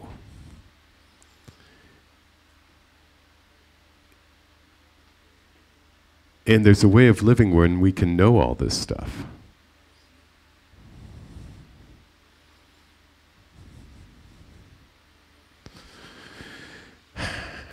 Okay, uh, one of the reasons I went here is because we're thinking about access. And this is one of those access points. And in this passage, the access point is what? In this passage. in Deuteronomy 34? The eyes where and when? Uh, where is he? On Mount Nebo. Ah, yes. Yes. So let's go. Nebo is this is so unfair, but anybody happen to know what the word Nebo means? Uh, uh, so fair enough. Nebo means prophecy. So wait a second. He's on a mountain of prophecy, and he is a prophet, and God is going to give him a prophecy that includes both the future and the past and the present. It's a wise person who knows their mountain. Now, what I mean by that is something very specific. You can go to Nebo. Guess what wasn't there? I put my hand on the Bible for this. What wasn't there when Moses is standing at the bottom of that mountain 3,200 years ago?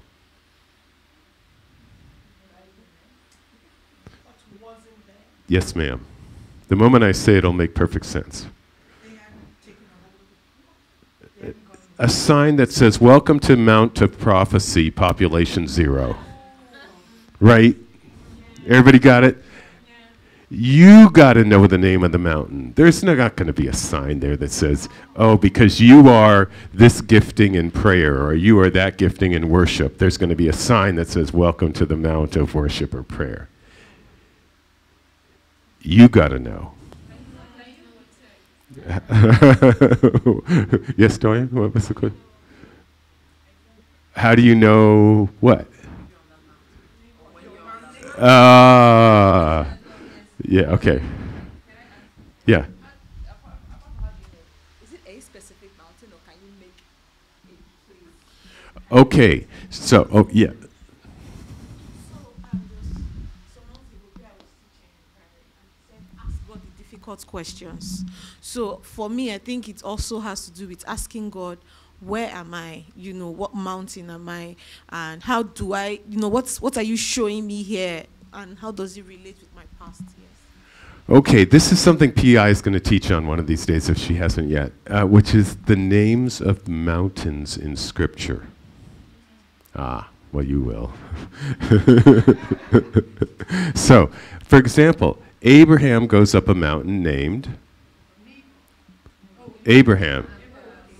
Moriah. And Moriah means where God is teacher. Oh. And sure enough, Abraham's going to learn several things that God wants to teach him on that mountain. Then, oh, there's a mountain uh, where the burning bush is. It's called Horeb. Horeb means destruction. But the exact same mountain, Horeb, will be called in Exodus 20 when they receive the Ten Commandments Sinai. But when Elijah in 1 Kings 19 goes to that exact same mountain, it'll be named Horeb again. So, when you go to these mountains, they tell you everything you need to know about yourself.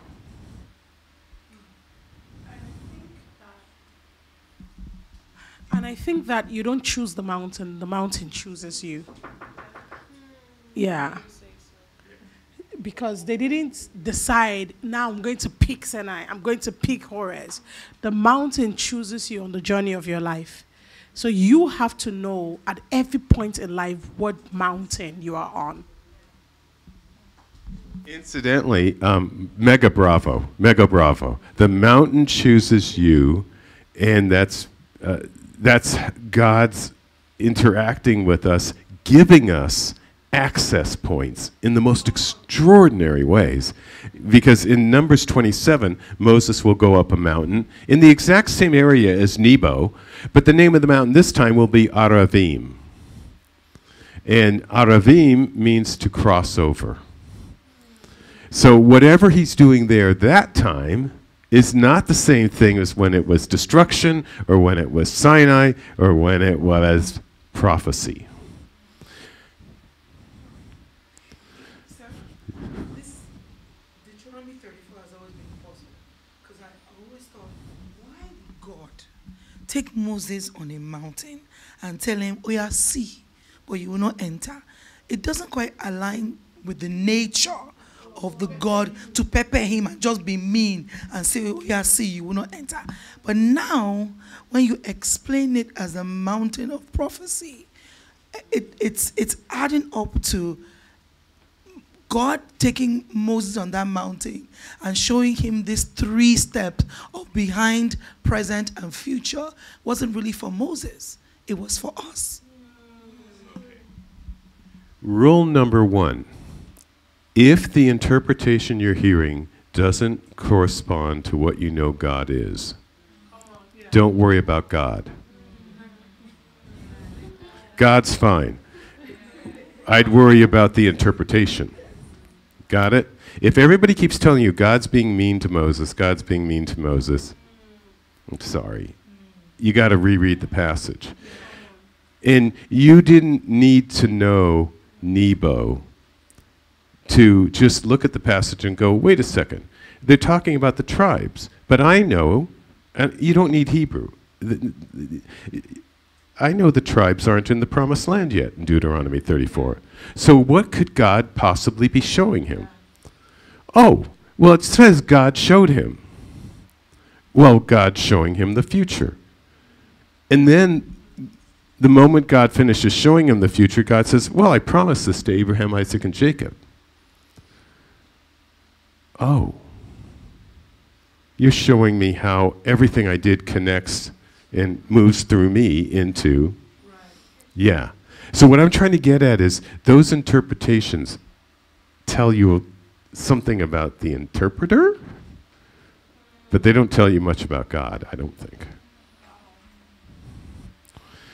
But, but you can trust your heart on these things. What I mean is, if your heart is telling you that's not God,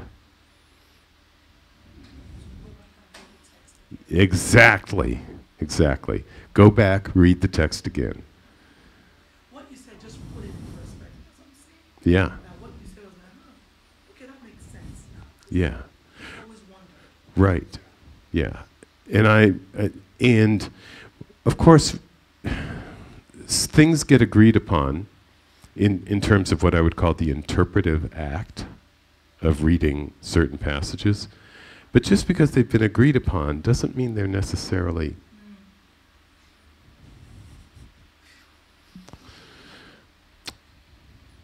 Okay. Good. Questions, comments, thought. Did we address your question? Yeah, okay, good. Okay. so we were going to look at a second passage of the word opening or door. Now we're in Exodus chapter 12.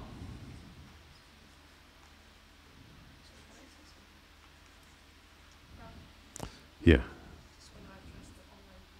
Um, we're in Exodus chapter 12, verse 22, and we're going to be looking at the next verse, time, a next time, this word petach, opening, gets translated as door. The first time it was pretty clearly talking about the heart of Cain. But now let's look at it here. And remember, we're thinking about access points, and we're thinking about those ways that allow us to enter, but also, and if I can enter, I can also be entered. So sin is yeah. So one of the things we need to think about in access points is not only is this a point of entry, but also yes, exactly, exactly. Okay, verse 22. Take a bunch of hyssop, dip it in the blood that is in the basin, and apply some of that blood that is in the basin to the lintel and the two doorposts. None of you shall go outside the door of his house until morning. But instead of door, it actually says opening. Now, let's just remind ourselves when we do go out, where are we going out to?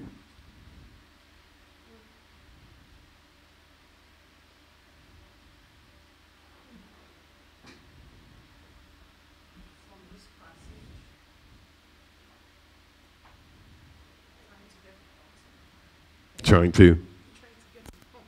Yes, we're well, we're leaving slavery. We're leaving Egypt. We're leaving the narrow place. So this is literally the access point to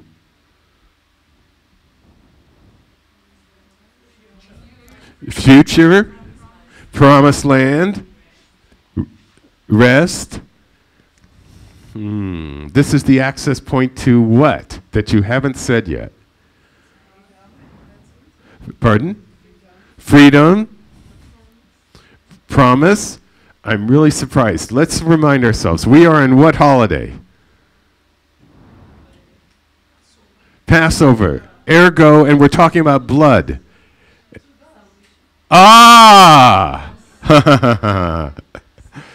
Bravo.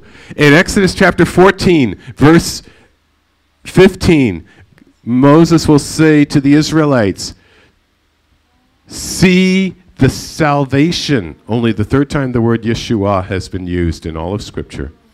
See the salvation of the Lord. For the Egyptians you see today, you will never see again. And the wa- and in this salvation, the waters will part. They will no longer be in Egypt. They will be in the wilderness one of the very most important teachings about salvation, although there are many, so I don't put this as, I'm just saying, like in the top 20, I didn't do it myself. I didn't part the waters, right? No, he parted the waters. The question was, would I walk through?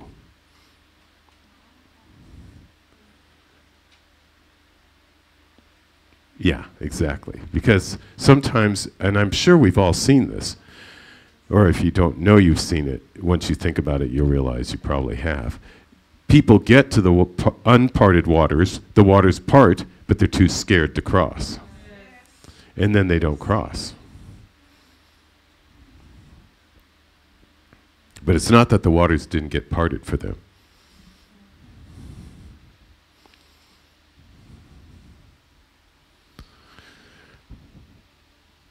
Okay, so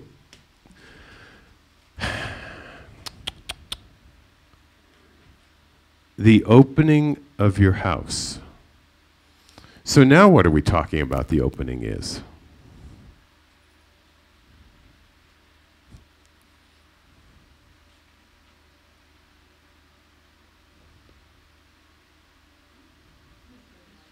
Hmm? Mind. Mind and family. Let's rock and roll. Very good. This is about what?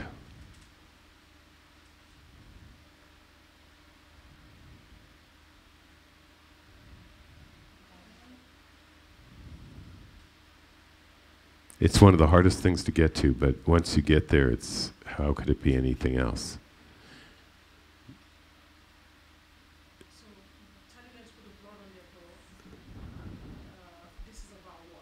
Yeah. No, we I asked what is this opening? And the answers were mind and family. And then you just said putting the blood on the opening of the door. What have you done? What?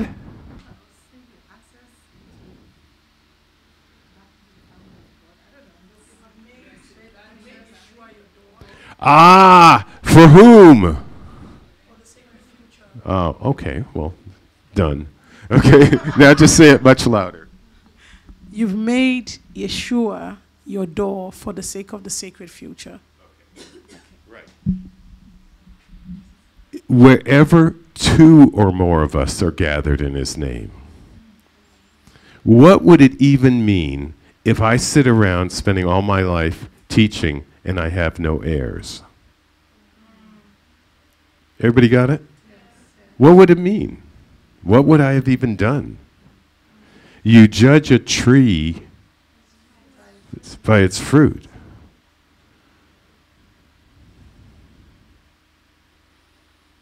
So, of course, we're trying to bring our family out. And the heartbreak is when we can't get our family to join us.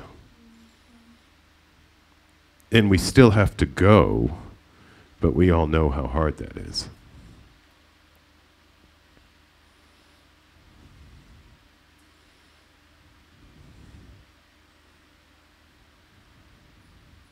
So, you know, why are we doing this? Meaning, why are we here right now doing this activity? Is it only to make me smarter? No, of course not. What is the sacred story we're telling ourselves? Well, I'm trying to re engage with what I consider to be the sacred story and really understand it in real life 2023. Except for if I really understand it in real life 2023, I'm thinking.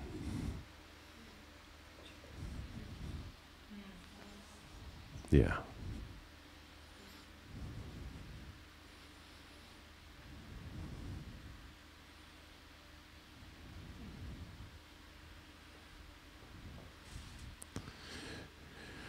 So it's a door to our house.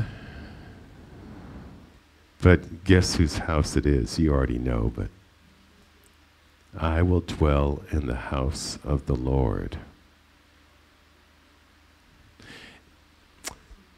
The first commandment, Exodus 20. I am the Lord your God who brought you out of the land of Egypt, out of the house of bondage. Meaning, I was living in Pharaoh's house. I left that house was saved, and now I live in God's house.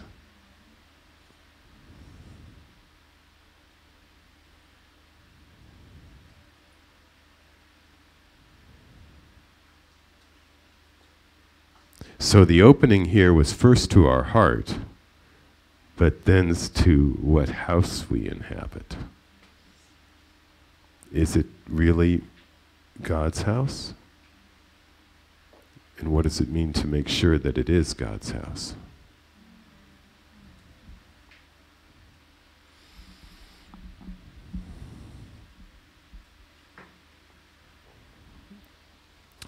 And then the third passage in Exodus 33, we were talking about the opening of the tent of meeting.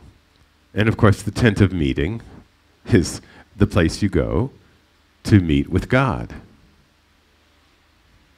So it started with my heart, moved into my house, but my house leading me to being able to inhabit God's house. And to be able to inhabit God's house with my family.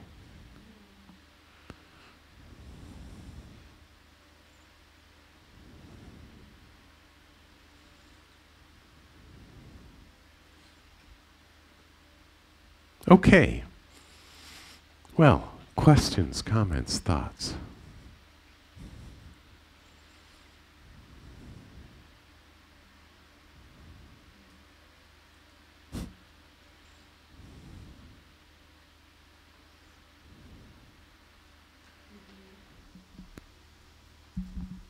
Okay.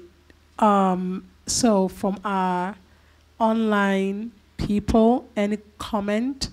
Or question or thought, because uh, we are drawing to the end.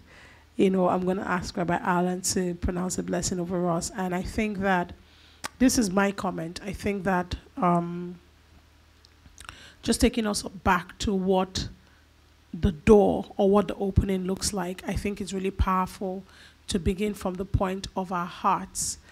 I feel like, because I, I have been saying that the first um, access is the access within you, guarding the access ways within you before the access around you.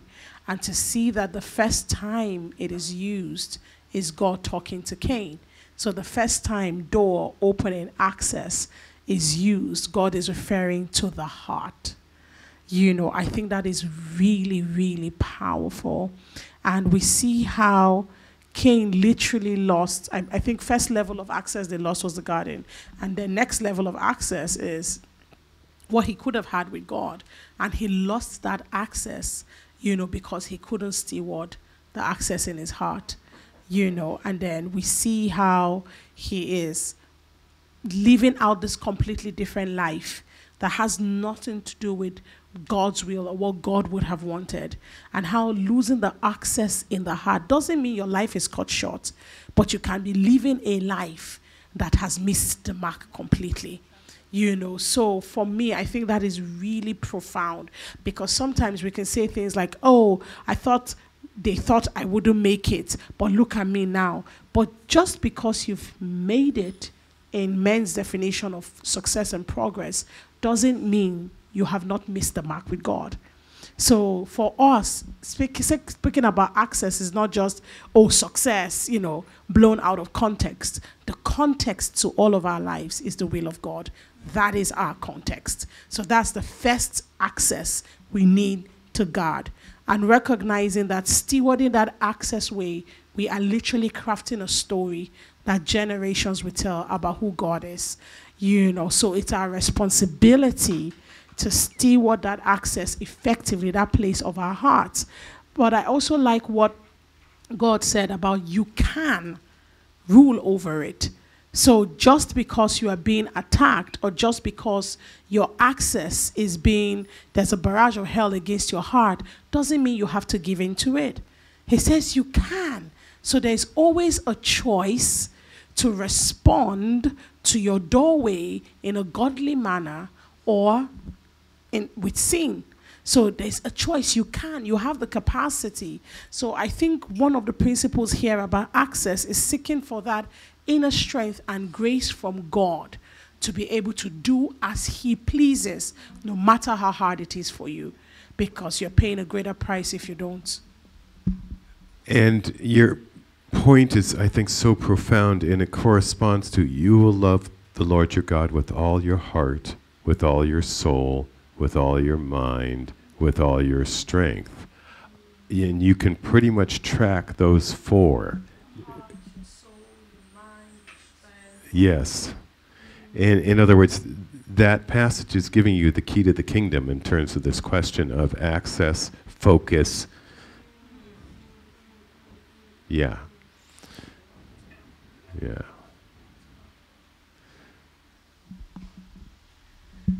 Yes, and then just opening the door for generations to come in and saying that this access I'm seeking for, Lord, is not just access for myself, but access, access for my children, my children's children, you know. And even if it means that all I get to partake of is to just be on the mount of prophecy concerning the future, if that's all I need to do, then I'm fine. But as long as I live a life that becomes an open door for generations, that's the most important thing. And I think that that's so powerful. And for me, that just brings the whole teaching we've done back into the foundation, which is God. It's, it's all about God and the will of God. Well, and exactly. What's one of my personal prayers is that my students, my kids, the younger people around me are seeing me going up the mountain the mountain of teaching. Not that that's their mountain, but that they know there is a mountain. And what it means for them to witness that, because in their time they will have a time and it'll be their turn to go up the mountain. What's the mountain going to be for them? So, in other words, not everybody's a prophet. you know, there's the fivefold. You know, so just to think about the fivefold as an example in Ephesians 4 10 and 11. So, yeah. Fantastic. Thank you so much. Um, guys online, are you there? so we're about to end.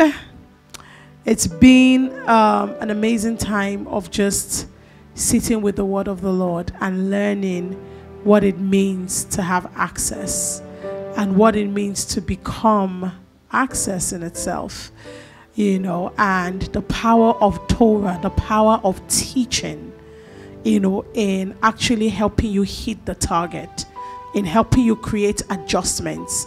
And I think that those are that's what this week has been about the power of teaching and teaching just helping us make the necessary adjustments in our lives so that we don't miss the mark you know and my prayer for all of us is that none of us will miss the mark. You know even as we have um, been diligent in learning and we have been diligent in just you know sitting before god and asking the lord you know what is your will for our lives?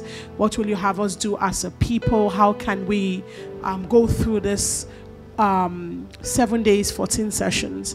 You know i pray that god will see your sacrifice not that our sacrifice is ever enough, it cannot compare to what Jesus has done.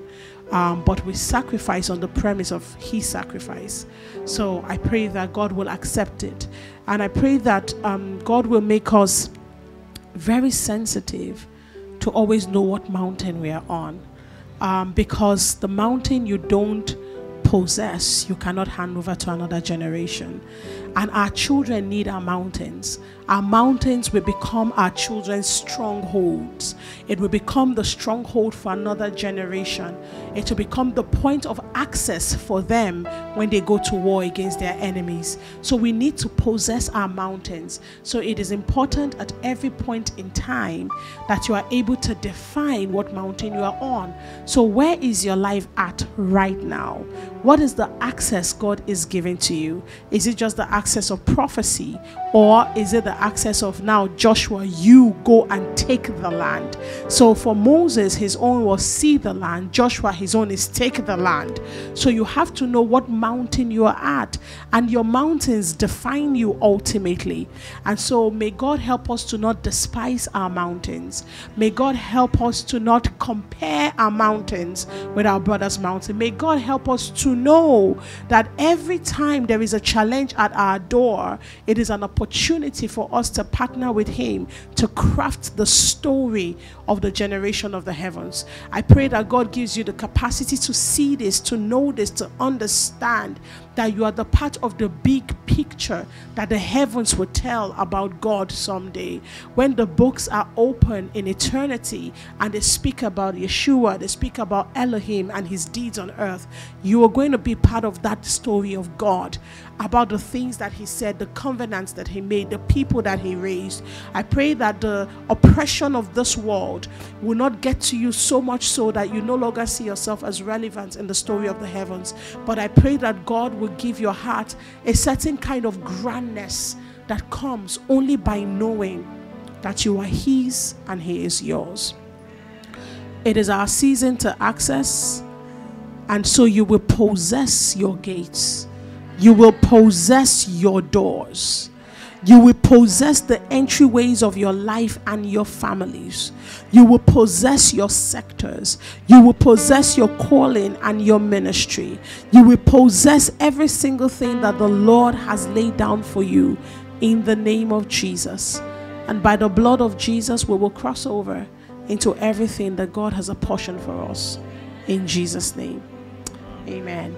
I'm going to ask Rabbi Alan. Um, I know there are many blessings, you know, um, but I don't know which one you believe fits into where we are at.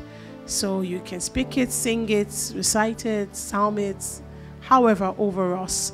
And for those online, you are absolutely a part of what um, God is releasing here. All right.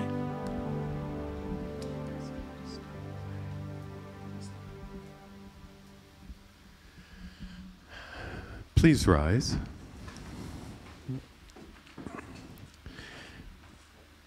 And what I'd like to do is have everybody move in as close as possible so that we're all kind of really one in this moment.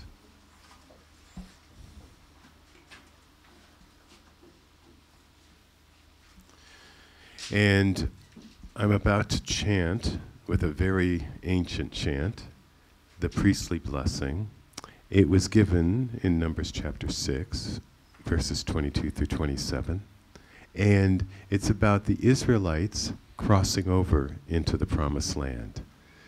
And it's about knowing that the kingdom of heaven on earth is nigh, it is here for us, and we are learning all about the access points to it.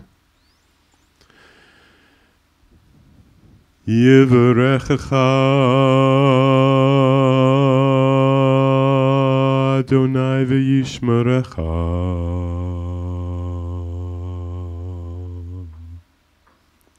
Lord bless you and keep you. Yair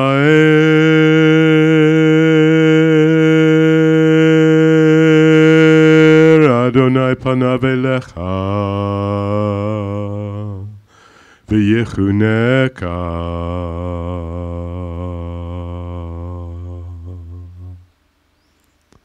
The light of God's face upon you and grace you. Yisa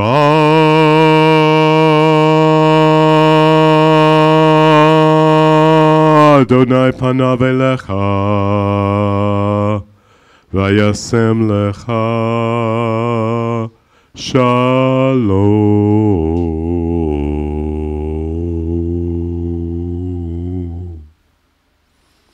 God's face lifted up to your face and place upon you God's shalom.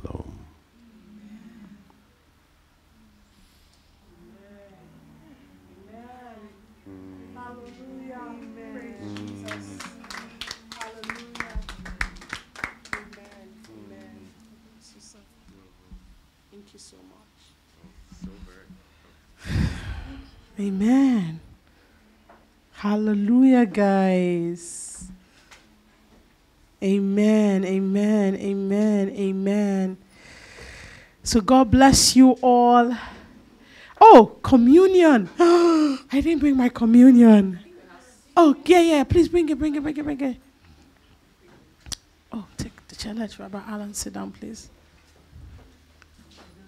Yes, how could I forget? I love you guys. You're so diligent. You're like, PI. Even if it's the last day, we must have communion. Oh, Father, we thank you. We bless you. Um, yeah, I love that blessing. I wish I could learn learn it, you know, and pronounce it over God's people. Yeah. You need to know how to hold a, a note to be able to do it. Abi? If it's, if it's me, when I sing it. Mm. just pulling down a lot of things from like within, you know, and I was like crying just now, sha. But he was he was more like this is what is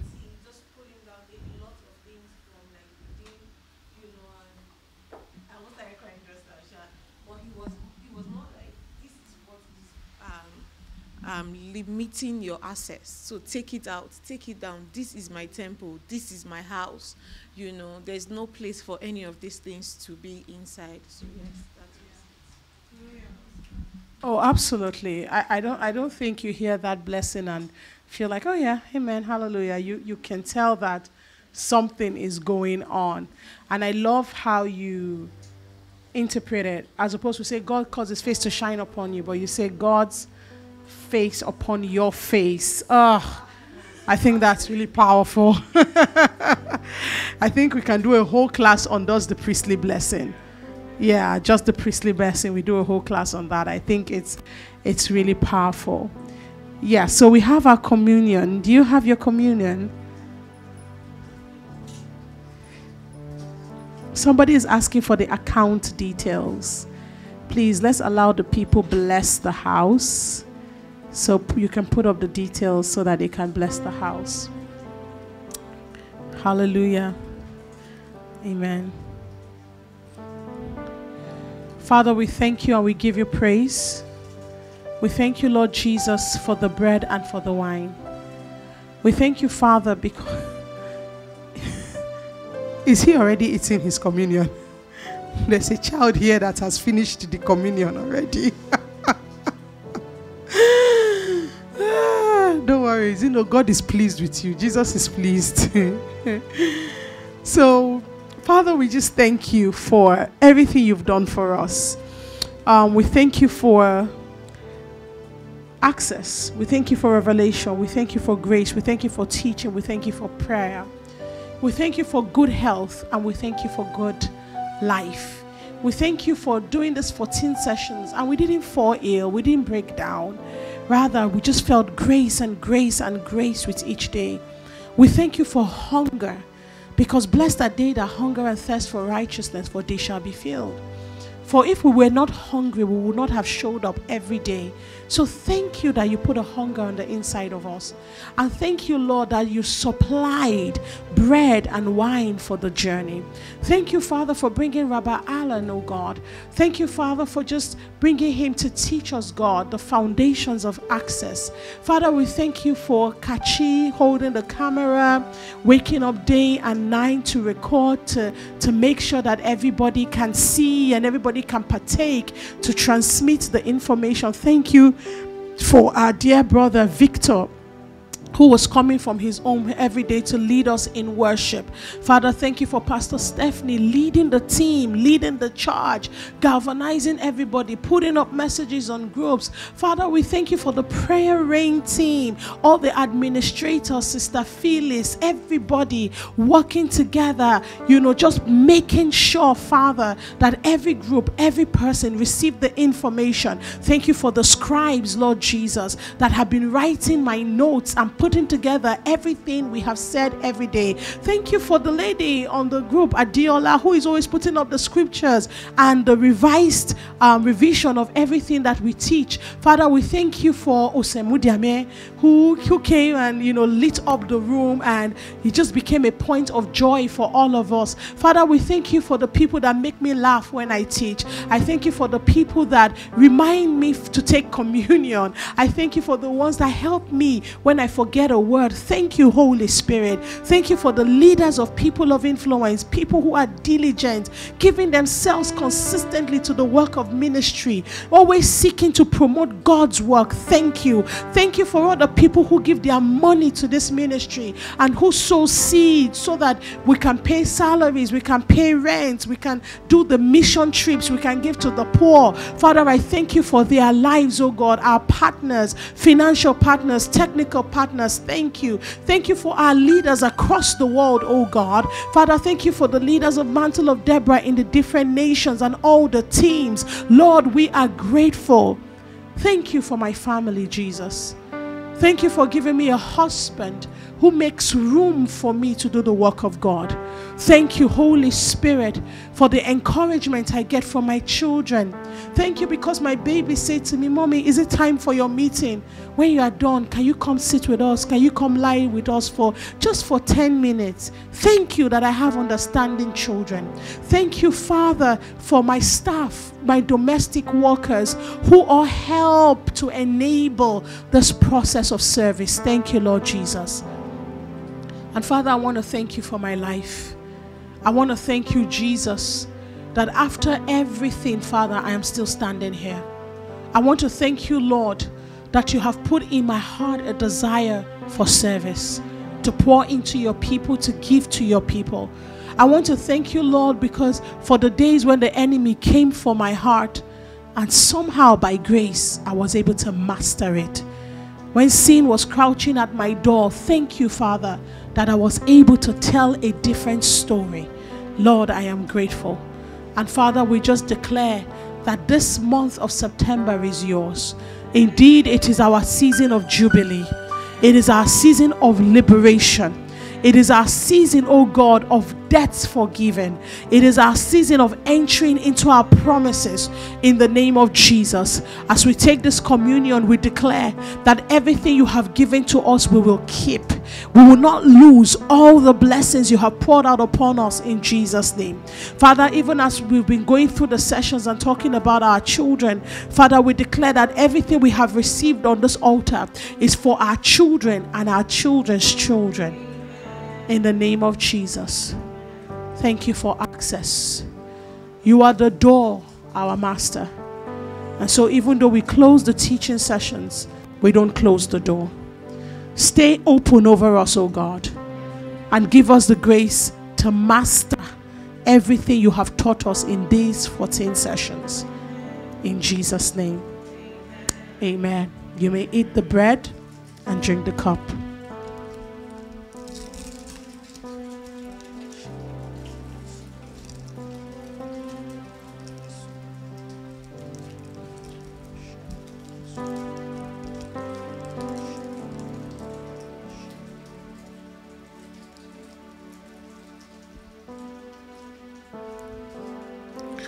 Thank you, Jesus.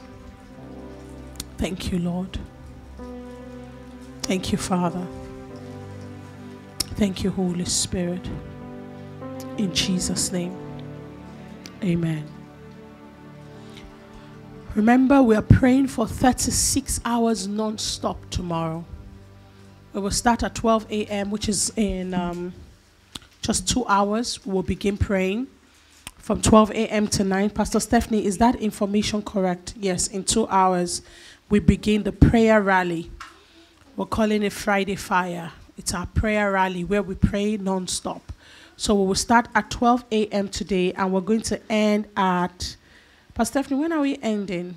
Is it 12 noon on Saturday? Fantastic. Yes. And then we will end at 12 noon on Saturday. There are going to be soldiers that Pastor Stephanie has trained and has raised.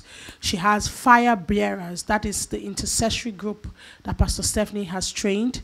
Fire bearers are intercessors. So you're going to have fire bearers standing at the gate of every hour and they will take all the teachings, all the things that we have learned, and we're going to be distilling them in prayer. I will be joining them. So, fire bearers, please get ready. Any hour you see I've entered the room and you hear Mele Kanda Brahada, thank you, Jesus. Just give me chance, okay? Give me chance to pass. You know, so I will be entering and interjecting um, at different hours just to follow. I want to be this 36 hours. My phone will be charged for 36 hours. I have one ear pod in my ear throughout. If any hour enters and I'm just hearing somebody say, Mare, Mare, Mare, Mare, Mare, Mare, Mare, Mare, Mare, I'll call Pastor Stephanie, please tell that person to pray. You understand? Hallelujah. So I'm going to be in all the 36 hours, and I know that when we are done, we will be done. Hallelujah. We will know by 12 noon on Saturday that something has happened. Gates have opened, doors have been pushed down for our sake. You know, so I congratulate you all for making this journey. And I remind you that we will begin access to where we will take particular gates in the month of um, October.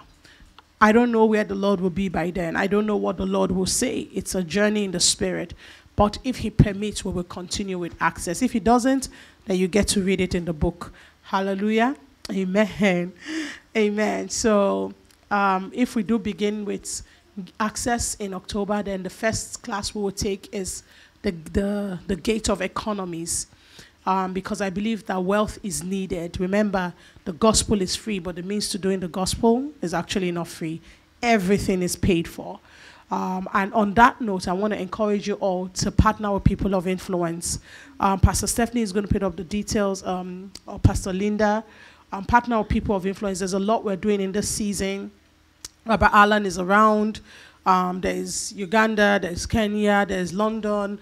You know, here in the office, we have a, a building, we have staff, we have team. And like I said, we're not a Sunday church, so most times people don't remember to give tithes and offering, but some people do. So to those who give their tithes and offering to POI, I say, God bless you. God bless you indeed, because you make it possible for us to keep running as a ministry.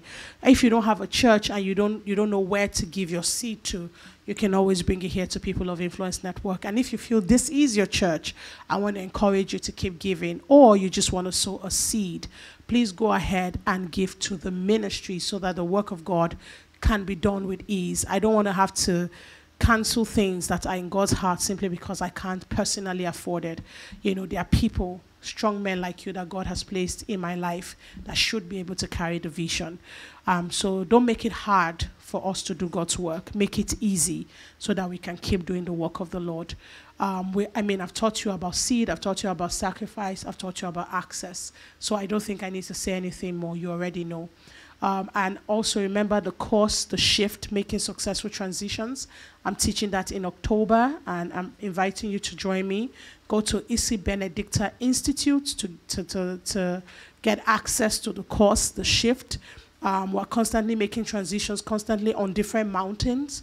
So part of what you will learn at the course is to know what mountain you are on and how to master your mountain. Um, also, my book, From Here to There, you can get it on Amazon. Please go ahead, go to Amazon and buy the book from here to there. It teaches you how to transition in life. And then in the course, I teach you a whole curriculum, giving you materials that you need to make your transitions in life. God bless you guys. I am going to miss you all, um, but we, we have to know when to shift. Yeah. Our victory song. Oh, the dream. I, ne- I never taught Victor the song. No, I'm not going to sing it.